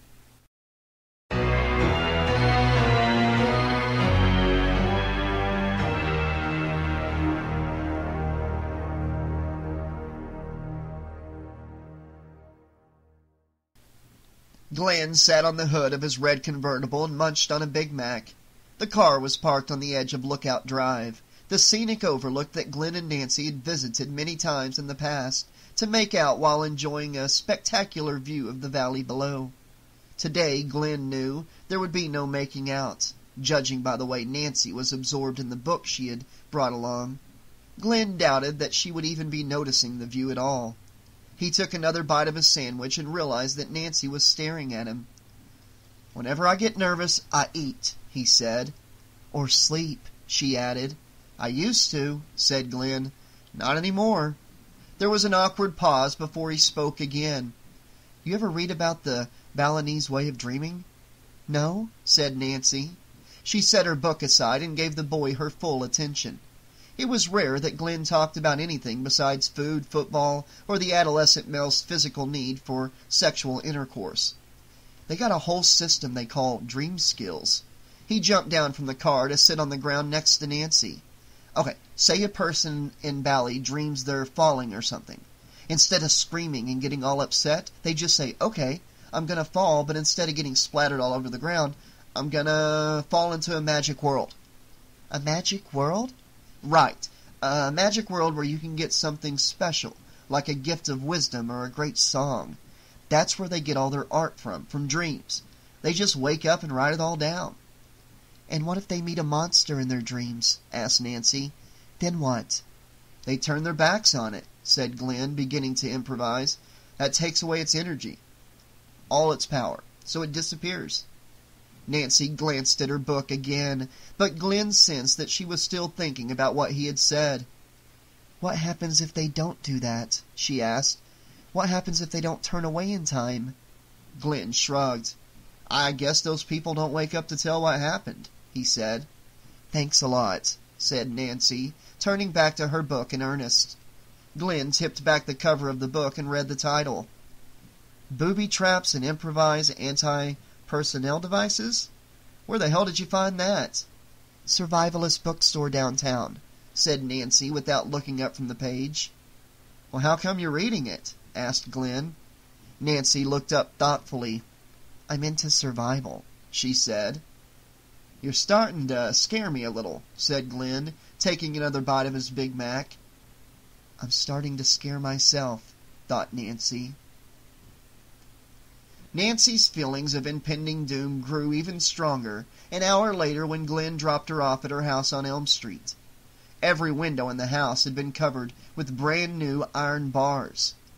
What's going on around here? Nancy demanded, finding her mother inside, a bottle of gin clutched tightly in her fist. Marge looked at her daughter for a long moment before replying. Come down to the cellar with me, Nancy, she said. Nancy followed her mother down the stairs and sat beside her in front of the old furnace. All right, said Marge, looking Nancy squarely in the eye for the first time in days. You want to know Fred Krueger? You want to know who he was? I'll tell you. Freddy Krueger was a filthy child killer who got at least 20 kids before we stopped him. okay? Kids from around here. Kids we all knew. It drove us all crazy when we didn't know who was doing it, but it was even worse when they caught him. Did they put him away? Nancy suddenly felt very warm, despite the chill in the air. Marge shook her head. Some lawyers got fat, and the judge got famous, but someone forgot to sign the search warrant in the right place, and Fred Krueger was free, just like that. So he's alive? Marge shook her head, slowly from side to side. A bunch of us parents tracked him down, right after they let him go. We found him in the old abandoned boiler room where he used to take the kids.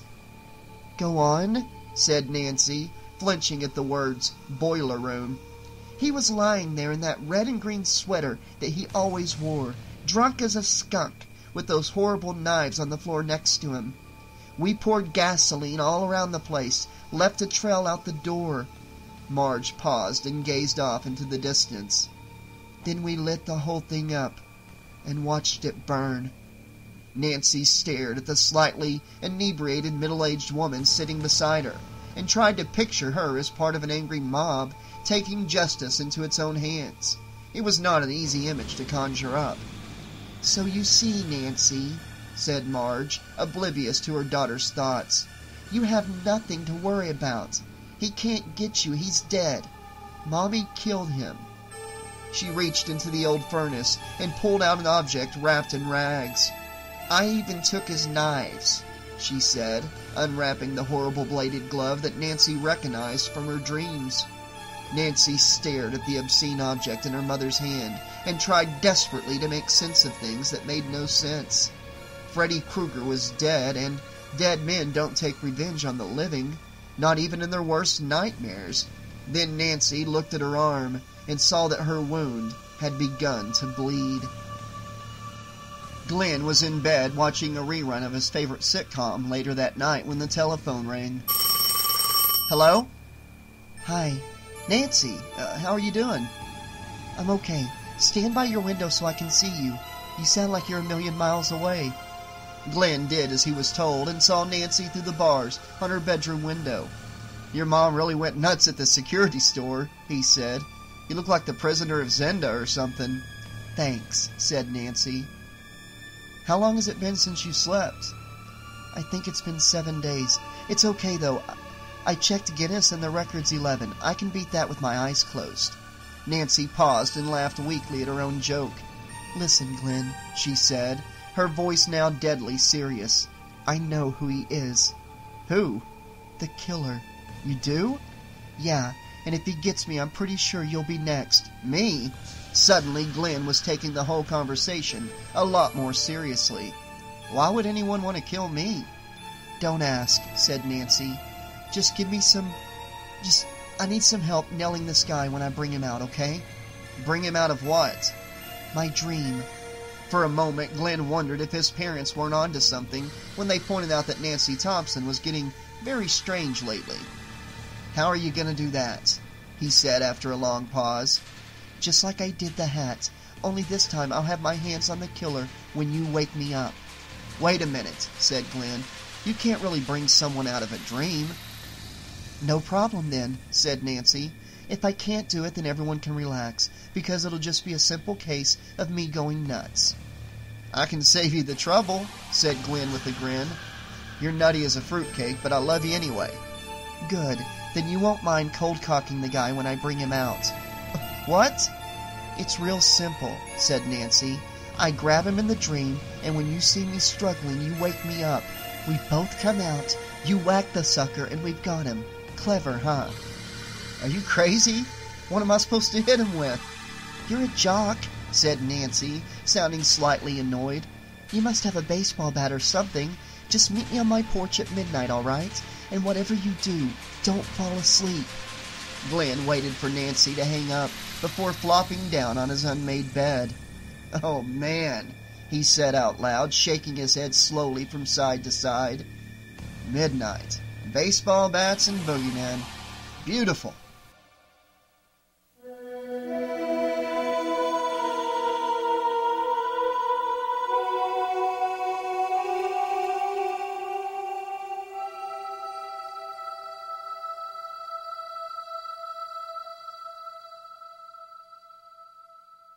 Chapter 8 Several hours later, Glenn's mother went upstairs to say good night to her son.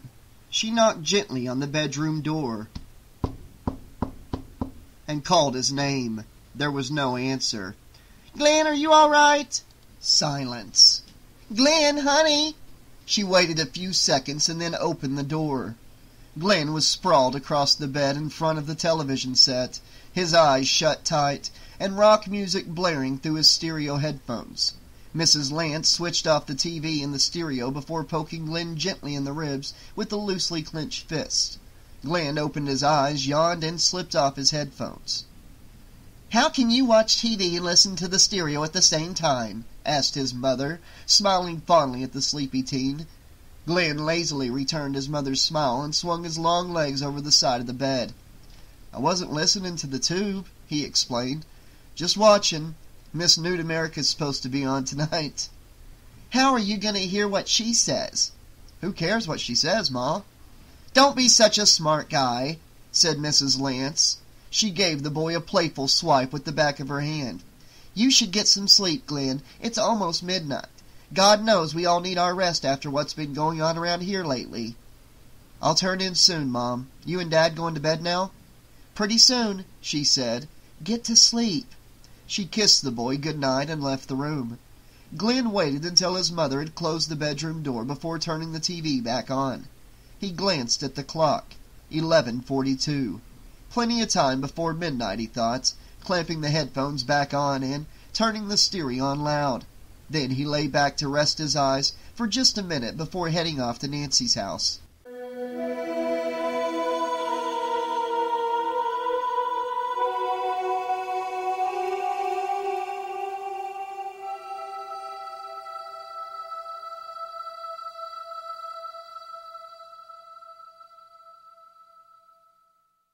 Across the street, a similar scene was being enacted at the Thompson home. Nancy was lying in bed while her mother busily gathered up empty coffee cups and boxes of NoDoz. Get some sleep, said Marge, still a little tipsy, as she kissed Nancy tenderly on the forehead. The nightmare's over, honey. Marge glared at the bars on the bedroom windows and felt strangely comforted. Everything's going to be all right from now on. Okay, Mom, said Nancy, barely able to keep her eyes open. Marge hesitated for a moment, then picked up the coffee pot from Nancy's night table and turned off the light. Night, night, she whispered. Nancy closed her eyes and pulled the blanket up over her shoulders as her mother tiptoed out of the room and closed the door quietly behind her. Five seconds later, Nancy's eyes snapped open. She jumped out of bed and took several deep breaths to fight off the sleep that felt like some powerful physical entity was trying to envelop her. Reaching under her night table, she found the full pot of coffee that she had stashed there earlier and poured some into the large mug she had hidden beneath her pillow. She rapidly drained the cup and then stepped over to the window. She opened it, pressed her face against the bars, and sucked in the cool night air.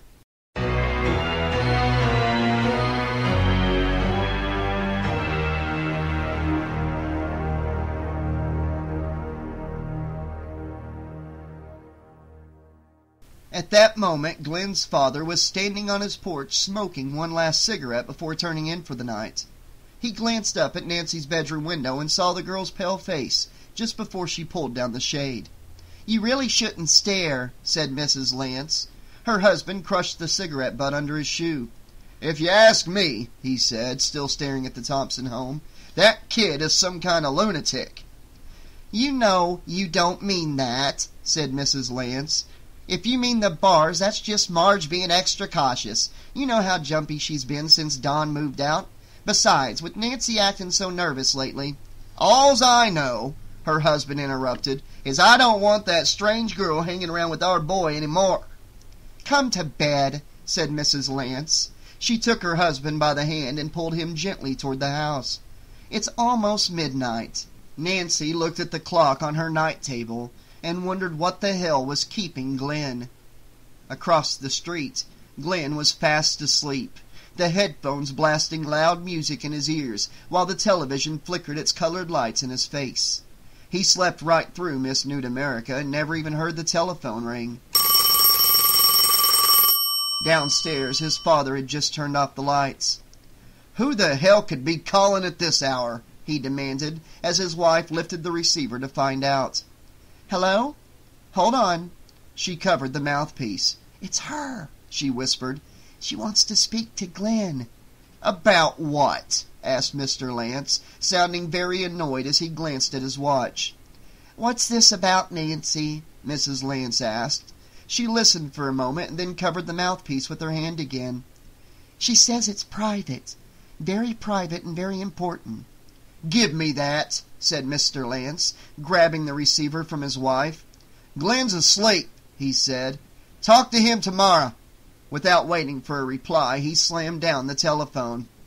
You have to be firm with these kids, he told his wife. He glanced back at the phone and then took the receiver off the hook for good measure. Let's get some sleep, he said, feeling really in control for the first time that day. Nancy dialed Glenn's phone number again and got a busy signal. Please don't be asleep, she whispered, staring helplessly out the window. Then the phone rang and Nancy snatched it up. Glenn? But all she heard was the horrible screeching sound of metal scraping against metal. Nancy slammed the phone down, a pulse now throbbing in her temples. In anger and frustration, she yanked hard on the phone, ripping it out of the wall. Brilliant, she thought, picking the phone up and dropping the useless instrument on her bed. Now what if Glenn tries to call? She stepped over to the window and stared helplessly at the house across the street. And then the phone rang again. Nancy whirled around and stared at the disconnected telephone as it rang a second time. Slowly, almost as though she were moving through water, Nancy reached out her hand and picked up the receiver. Hello? she said. I'm your boyfriend now, Nancy, said the triumphant voice of Fred Krueger. Before Nancy could say a word, the mouthpiece of the telephone suddenly turned into a mouth, its long, snaky tongue darting out and insinuating itself disgustingly between Nancy's parted lips. Nancy threw the phone down, smashing it into the wall. She stared at the obscene instrument in horror, still tasting the foul tongue in her mouth. And suddenly, the meaning of Fred Krueger's strange message became clear to her. Glenn! she screamed, running out of her room and down the stairs to the front door.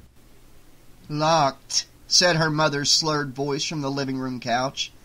Locked, locked, locked. I locked it all up. There was a drunken smile on Marge's face. You're going to sleep tonight if it kills you. Give me the key, Mother, said Nancy, knowing even as she spoke that it was already too late. Forget it. Marge took another swallow from the bottle at her side. I don't even have it on me. There was no time to argue. Nancy ran to the back door. Locked! She tried each of the locked windows, shaking the bars in frustration and fury, but it was no use.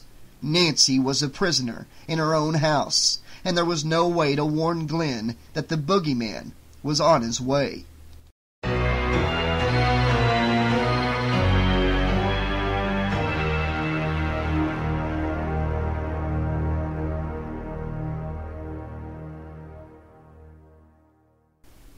In his dream, Glenn thought he heard Nancy call his name.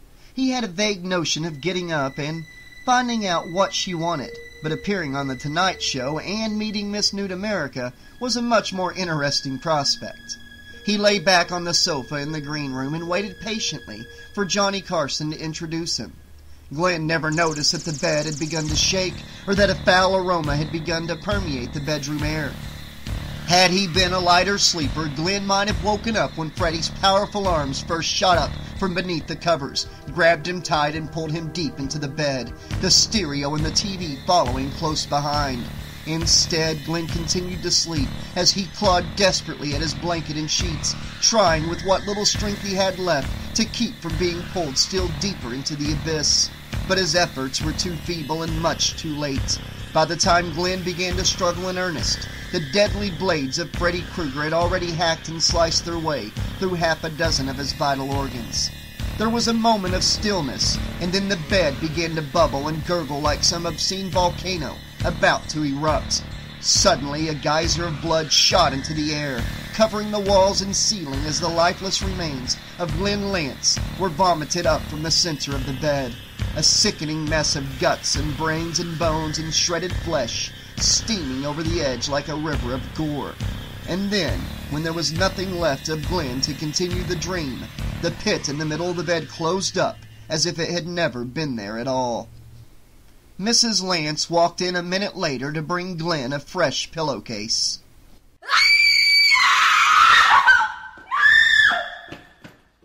Even from across the street, Nancy could hear Mrs. Lantz's anguished scream. Nancy was looking out the window when the ambulance and the police cars arrived. She saw her father climb out of the unmarked car that screeched to a halt in front of Glenn's house and waved to him from behind the bars. He returned the wave quickly and then hurried into the Lantz's house. Nancy pulled down the window shade, went downstairs, and dialed Glenn's phone number.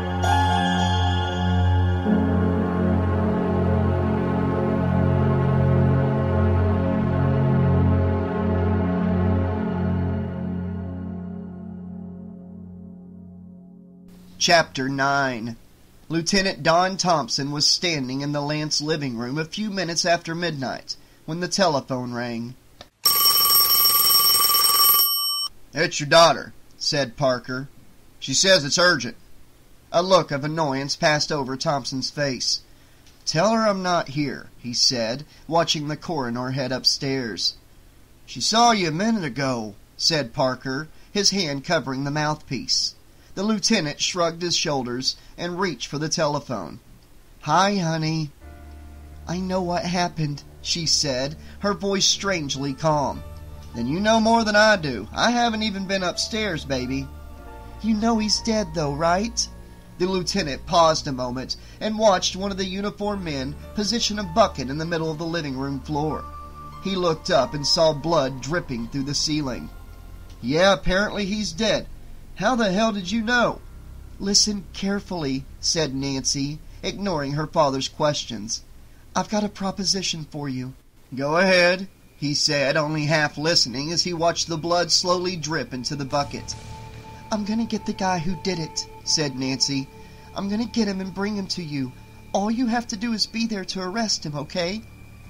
You don't have to do anything, baby, said the lieutenant. He wondered if the breakup of his marriage had had anything to do with his daughter's mental collapse. Just tell me who did it and I'll go get him. Fred Krueger did, Daddy, and I'm the only one who can get him. Just come over here in exactly 20 minutes and break down the door. Can you do that? Sure, but half past midnight, said Nancy, glancing at her wristwatch. That should be enough time for me to fall asleep and find him. Okay, honey, said Thompson, wondering why in the hell Marge had decided to tell Nancy about Fred Krueger at a time like this. You just get yourself some sleep, and everything will be all right. And you'll be there to catch him, right? Before the lieutenant could reply, Parker appeared at the head of the stairs and reminded him that the coroner was waiting. Don't worry, honey, he told Nancy, nodding to Parker. I'll be there. You just get yourself some rest. Deal? Deal, said Nancy. I love you, sweetheart. Thompson hung up the phone and began to head up the stairs.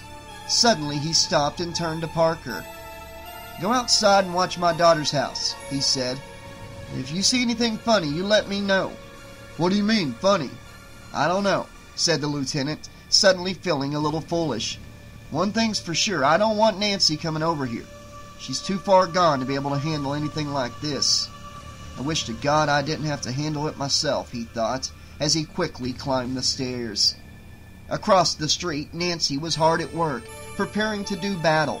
With her survival manual at her side, she began quickly to construct the weapons she would need to fight Freddy Krueger.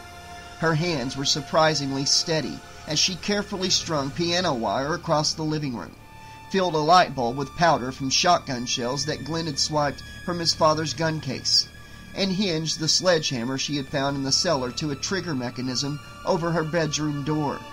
Then, when she was finished setting her homemade booby traps, Nancy went upstairs and peeked into her mother's bedroom. Marge was lying in bed, the half-empty bottle of gin still at her side. I guess I shouldn't have done it, she said, looking sadly at Nancy. Just sleep, okay, Mom? Nancy sat at her mother's side and took hold of her hand. I just wanted to protect you, said Marge. I didn't see how much you needed to know. You face things. That's your nature. That's your gift. Marge paused and looked at the bottle at her side. But sometimes you have to turn away, too, she concluded with a shrug of her slender shoulders. I love you, Mom, said Nancy. Oh, I love you, too, said Marge. Nancy pulled the covers up over her mother's shoulders and tiptoed out of the room. She went into her own room, crawled into bed, and set the alarm on her wristwatch to go off at exactly 12:30. "Okay, Krueger," she said as she closed her eyes. "We play on your court."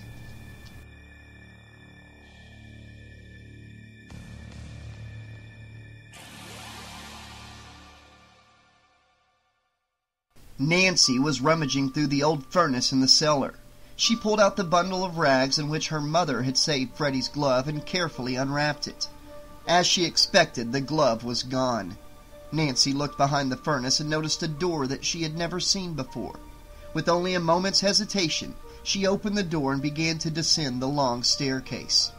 She was startled when the door slammed shut behind her, but she knew that it would ultimately make no difference. Closed doors have no meaning in the world of dreams. Then she reached the bottom of the stairs and found herself once more in the vast boiler room.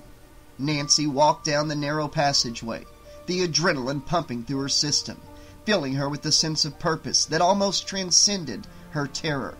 Krueger! she screamed. I'm here! She continued along a series of treacherous catwalks, carefully avoiding the scalding hot pipes that surrounded her on all sides. It wasn't time to wake up yet. She paused a moment to catch her breath and noticed a familiar object Tina's crucifix. She examined the crucifix for a moment and then continued her descent down a seemingly endless procession of ladders that brought her ever closer to the great roaring fire below. She was only a few yards from the fierce orange blaze when she almost stepped on Glenn's partially melted headphones. Come out and show yourself, you bastard! she shouted, her voice now indisputably that of the hunter and not the hunted. And then Freddy showed himself, more hideous than ever, with his head uncovered, his horribly scarred face transformed by the unspeakable hatred he felt for the girl who had dared to challenge his power. Without a moment's hesitation, he lashed out with his razor sharp finger knives. But this time Nancy was ready for him. She stepped back into the darkness, strangely confident that no harm could come to her as long as she avoided Freddy's deadly blades. She was falling now, but the scenery had abruptly changed. She crashed to the ground, no longer in the dank boiler room, but on her own front lawn. Nancy scrambled to her feet, knowing that if this had not been a dream, every bone in her body would have been crushed by the fall. Breathing the fresh night air, she ran toward the front door, eager to get back to the safety of her own bed. And then Krueger was behind her, an obscene chuckle of triumph welling up from somewhere deep in his throat. He swiped at Nancy with his blade, certain that she would be unable to open the door before feeling the wrath of his deadly glove. But Nancy attempted neither to open the door nor to flee from her attacker. Instead, she threw herself forward, grabbing Freddy around the middle and knocking him over on his back as she deftly avoided his lethal right hand. Then the alarm went off, and Nancy woke up. Still shaking and breathless, she looked around, almost disappointed not to find the man in the filthy sweater lying beside her in the bed. Of course, she was glad to have escaped, but Nancy knew that the nightmares would not end until she finally succeeded in bringing Fred Krueger out of her dream. Bring him out of my dream, she thought, hearing as if for the first time the absurdity of the idea. I guess maybe I am crazy after all, she said aloud, remembering her last conversation with Glenn. Then Fred Krueger leaped at her from the side of the bed with an explosive scream of rage. Nancy rolled off the bed in time to avoid Freddy's claw and darted to the window.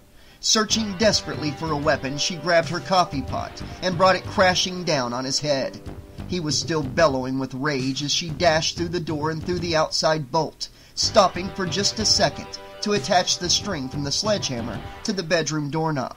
Nancy raced downstairs and headed for the front door. Locked. She smashed the glass window and began screaming for help. Upstairs, the enraged madman had already discovered that walking through locked doors was no easy task outside of the world of dreams.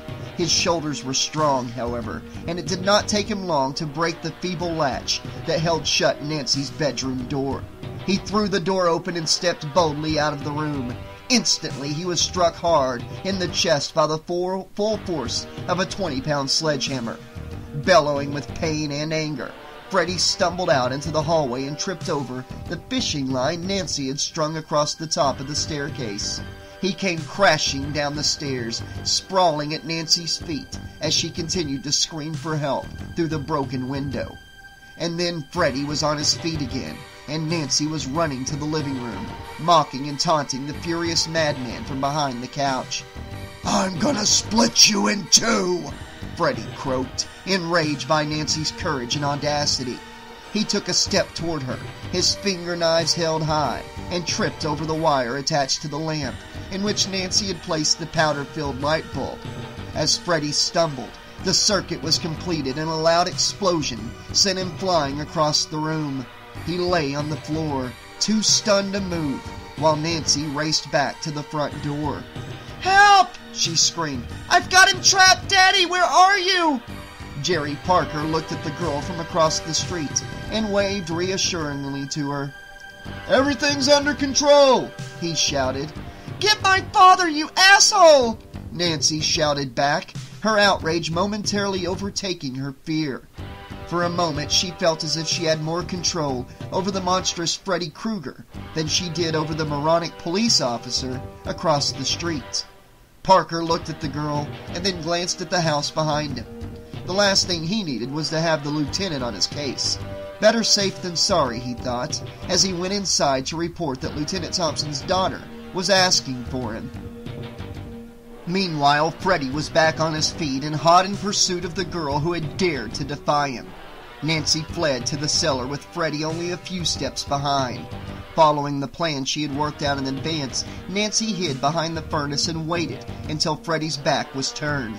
Then she picked up the bottle of gasoline she had left on the steps and called his name. Freddy turned around and Nancy doused him with the highly flammable liquid. No! screamed Freddy in horror as Nancy ignited an entire box of kitchen matches and threw the flaming box in his direction. It was too late to duck. Instantly, Freddy was enveloped in flame, screaming in agony that he had not felt since that horrible day ten years prior when he vowed to take his revenge on the people of Springwood. Nancy reached the top of the cellar stairs and stationed herself behind the door just seconds before the flaming madman started to follow. He was about to pull open the door when Nancy suddenly pushed it forward with all of her strength, knocking him down the stairs with a terrible crash. She barely had enough time to throw the deadbolt on the cellar door before she heard Freddy charging back up the stairs. She arrived at the front door just as her father stepped out onto Glenn's porch across the street. Daddy! she screamed. I did it! Please hurry! Lieutenant Thompson saw the look of urgency on his daughter's face and called to a few of the uniformed patrolmen for help. Together, the men quickly broke down the locked door and rushed into the home. Nancy threw herself into her father's arms as Parker and the others raced toward the smoking cellar. What the hell is going on? asked the lieutenant. Nancy was about to explain when she noticed the trail of flaming footsteps that led from the cellar door across the living room carpet and up the front stairs. He's after Mother! Nancy shouted, dashing up the stairs with her father close behind. She arrived at Marge's bedroom to find her mother pinned to the bed by the still flaming Freddy Krueger. Without a moment's hesitation, Nancy picked up a chair and brought it crashing down over the fiery monster's head. Freddy fell to one side just as Lieutenant entered the room and threw a heavy blanket over the burning bed. Watch it! screamed Nancy. He's under there! Immediately, the lieutenant yanked the top cover off the bed. The fire was out, but the bed continued to glow with an eerie reddish light. In its center lay the charred corpse of Marge Thompson, smoking and seething as it sank slowly into the mattress, its gnarled and blackened hand waving a gruesome farewell. Then the glow faded, and the hole that had become Marge's eternal grave closed up forever. Now do you believe me? asked Nancy, a strange calm descending on her as she looked her father in the eye. Before the lieutenant could reply, Parker burst in to report that the fire downstairs was under control. Don Thompson looked at his daughter, but could find no words to express what he was feeling. I'm okay, she said, knowing that the nightmare was rapidly approaching its inevitable end. You go downstairs. I'll be there in a minute. The lieutenant hesitated for a moment and then left the room, closing the door behind him. Nancy turned her back to the bed and waited. Slowly, the figure of Fred Krueger rose, ghost-like, from the center of the mattress. I know you're there, Freddy, said Nancy, turning to face the charred monster. You thought you was gonna get away from me? He croaked, surprised by the calmness of her voice. I know you too well now, Freddy, Nancy replied. Freddy grinned, confident that the chase was over at last. And now, you die! he said, his gleaming steel talons poised to strike one more time. But Nancy just looked at him and shook her head. It's too late, Krueger. I know the secret now. This is just a dream. You're not alive. It's only a dream. She paused to let her words sink in, and then took a deep breath. I want my mother and my friends again, she said. You what? The madman bellowed. I take back every bit of energy I ever gave you, said Nancy quickly, turning her back on Fred Krueger for the last time as she walked slowly toward the bedroom door. You're nothing, Krueger, she said calmly. You're shit. Freddy stepped behind her, his finger knives bunched together and poised over the back of her neck. Nancy took another deep breath and reached for the doorknob as the deadly steel talons began to come down. And then, Chapter 10. And then it was morning. Nancy stepped outside into a beautiful new day and squinted at the blinding sunlight. God, it's bright, she said, shading her eyes with her hand. It's gonna to, it's gonna burn off soon, said Marge Thompson, stepping out of the house right behind her daughter. Otherwise it wouldn't be so bright. The sun's just trying hard. Nancy looked at her mother and smiled. She had a vague sense of something having been wrong the night before, but it was impossible to think about unpleasant things on a magnificent morning like this. Feeling better? Nancy asked. I feel like a million bucks, said her mother, and Nancy thought she looked it. They say you bottom out when you can't remember the night before. She paused and slowly nodded her head as if making an important decision. No more drinking for me, baby. I just don't seem to like it anymore. She turned and looked at Nancy. I kept you up last night, didn't I? You look a little peaked. I guess I just slept heavy, said Nancy, vaguely recalling some unpleasant dream that might have disturbed her sleep. Before she could give the matter any more thought, however, a red convertible with its top down pulled up to the curb in front of the house. Glenn Lantz was at the wheel as usual. While Tina Gray and Rod Lane held hands in the back seat. You believe this fog? Glenn called out to Nancy's mother as Nancy climbed into the front seat of the convertible. I believe anything's possible, said Marge with a cheerful laugh as she waved goodbye to Nancy and her friends. Glenn was about to drive off when the top of the convertible suddenly clamped down like a sprung trap. What are you doing? asked Rod. I'm not doing anything, said Glenn, and it was true. It wasn't he who had closed the top, or shut all the windows, or locked all the doors, or painted the weird red and green stripes on the convertible top. Mother! screamed Nancy, but Marge never heard her daughter's screams of terror as the demon automobile drove itself away and disappeared into the fog. Nancy's mother was still smiling and waving from the doorway when a talon-tipped hand suddenly shattered the glass window behind her, grabbed Marge by the throat, and yanked her back into the house with superhuman strength. Perhaps it wasn't going to be such a wonderful day on Elm Street after all.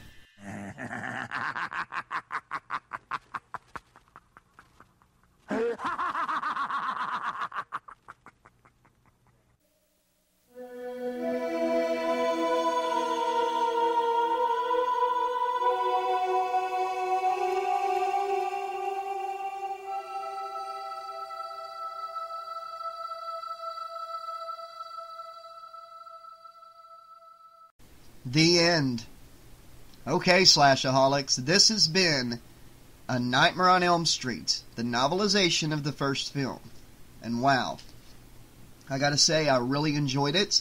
Although it was uh, pretty short compared to other novelizations, um, and it stayed really true to the movie, it was still a really entertaining read that had me wanting to get back to it quickly.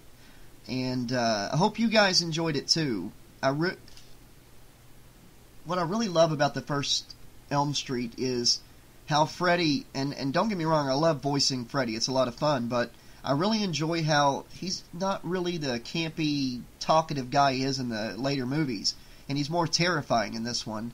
And I love the uh, the part of the first movie at the end where you're like, okay, was the whole movie a dream? Is this a dream? Is the dream still going? Is it not over? Are they all dead? Are they all about to die? I love that ambiguity of it, you know, and uh, I'm glad that the novelization didn't change any of that, and I'm I'm kind of glad it wasn't different, to be honest with you, because I always thought the first Elm Street was perfect, and uh, I really enjoyed narrating it and bringing it to you guys. I'm going to narrate uh, part two, three, four, and five as well, but I'm going to skip Freddy's Revenge for now, and I'm going to be doing uh, Dream Warriors uh, pretty soon. Um, if you're listening to this far, you know, away from the upload date, then by then I've probably already done Freddy's Revenge and all of them. But if you're listening to this pretty close to, uh, you know, March 24th when I'm uploading it, then yeah, I'll be doing uh, Dream Warriors before I do Freddy's Revenge. And I've heard that it's a lot different than uh, the movie, so I'm looking forward to that big time.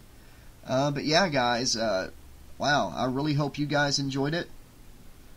There's not a whole lot more I can say about it. I said a lot in the individual uploads at the ends of the chapters. Um, I like the writing. We didn't get a whole lot of extra stuff, but that's okay because uh, you really just can't mess with perfection. And the first movie was perfection. The novelization of it stuck, stayed true to it. I really enjoyed it. Uh, Freddy's a lot more terrifying in, in the first movie and in this novelization. Uh, but I'd love to hear from you guys in the comment section below. Let me know what you thought of the book and if you're looking forward to the other novelizations. Uh, there was actually only two books written uh, of the novelizations, as you can see on the screen there, the uh, cover. Uh, one book has parts one, two, and three. The other one has four and five. Uh, but I didn't want to put you know one, two, and three all in one unabridged upload. I want to I want to split them up into their own. That's why I did this one separately, and I'll do two and separately, three separately. And I think you guys will enjoy it more that way. I know I will. And uh, yeah, I'll be back very soon with more Slasher Mayhem here on the 80 Slasher Librarian YouTube channel. Until then, this has been your friendly neighborhood 80 Slasher Librarian saying, thanks for listening, be safe, and pleasant dreams!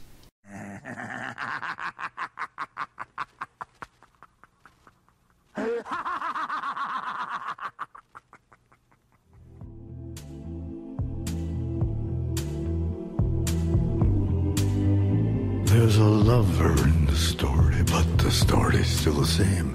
There's a lullaby for suffering and a paradox to blame. But it's written in the scriptures and it's not some idle claim. You want it darker? We kill the flame.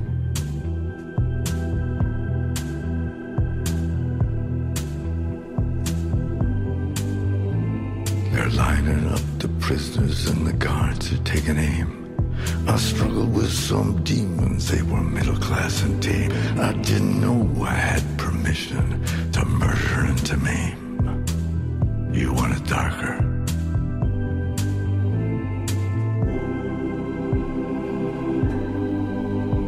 Hineni, hineni,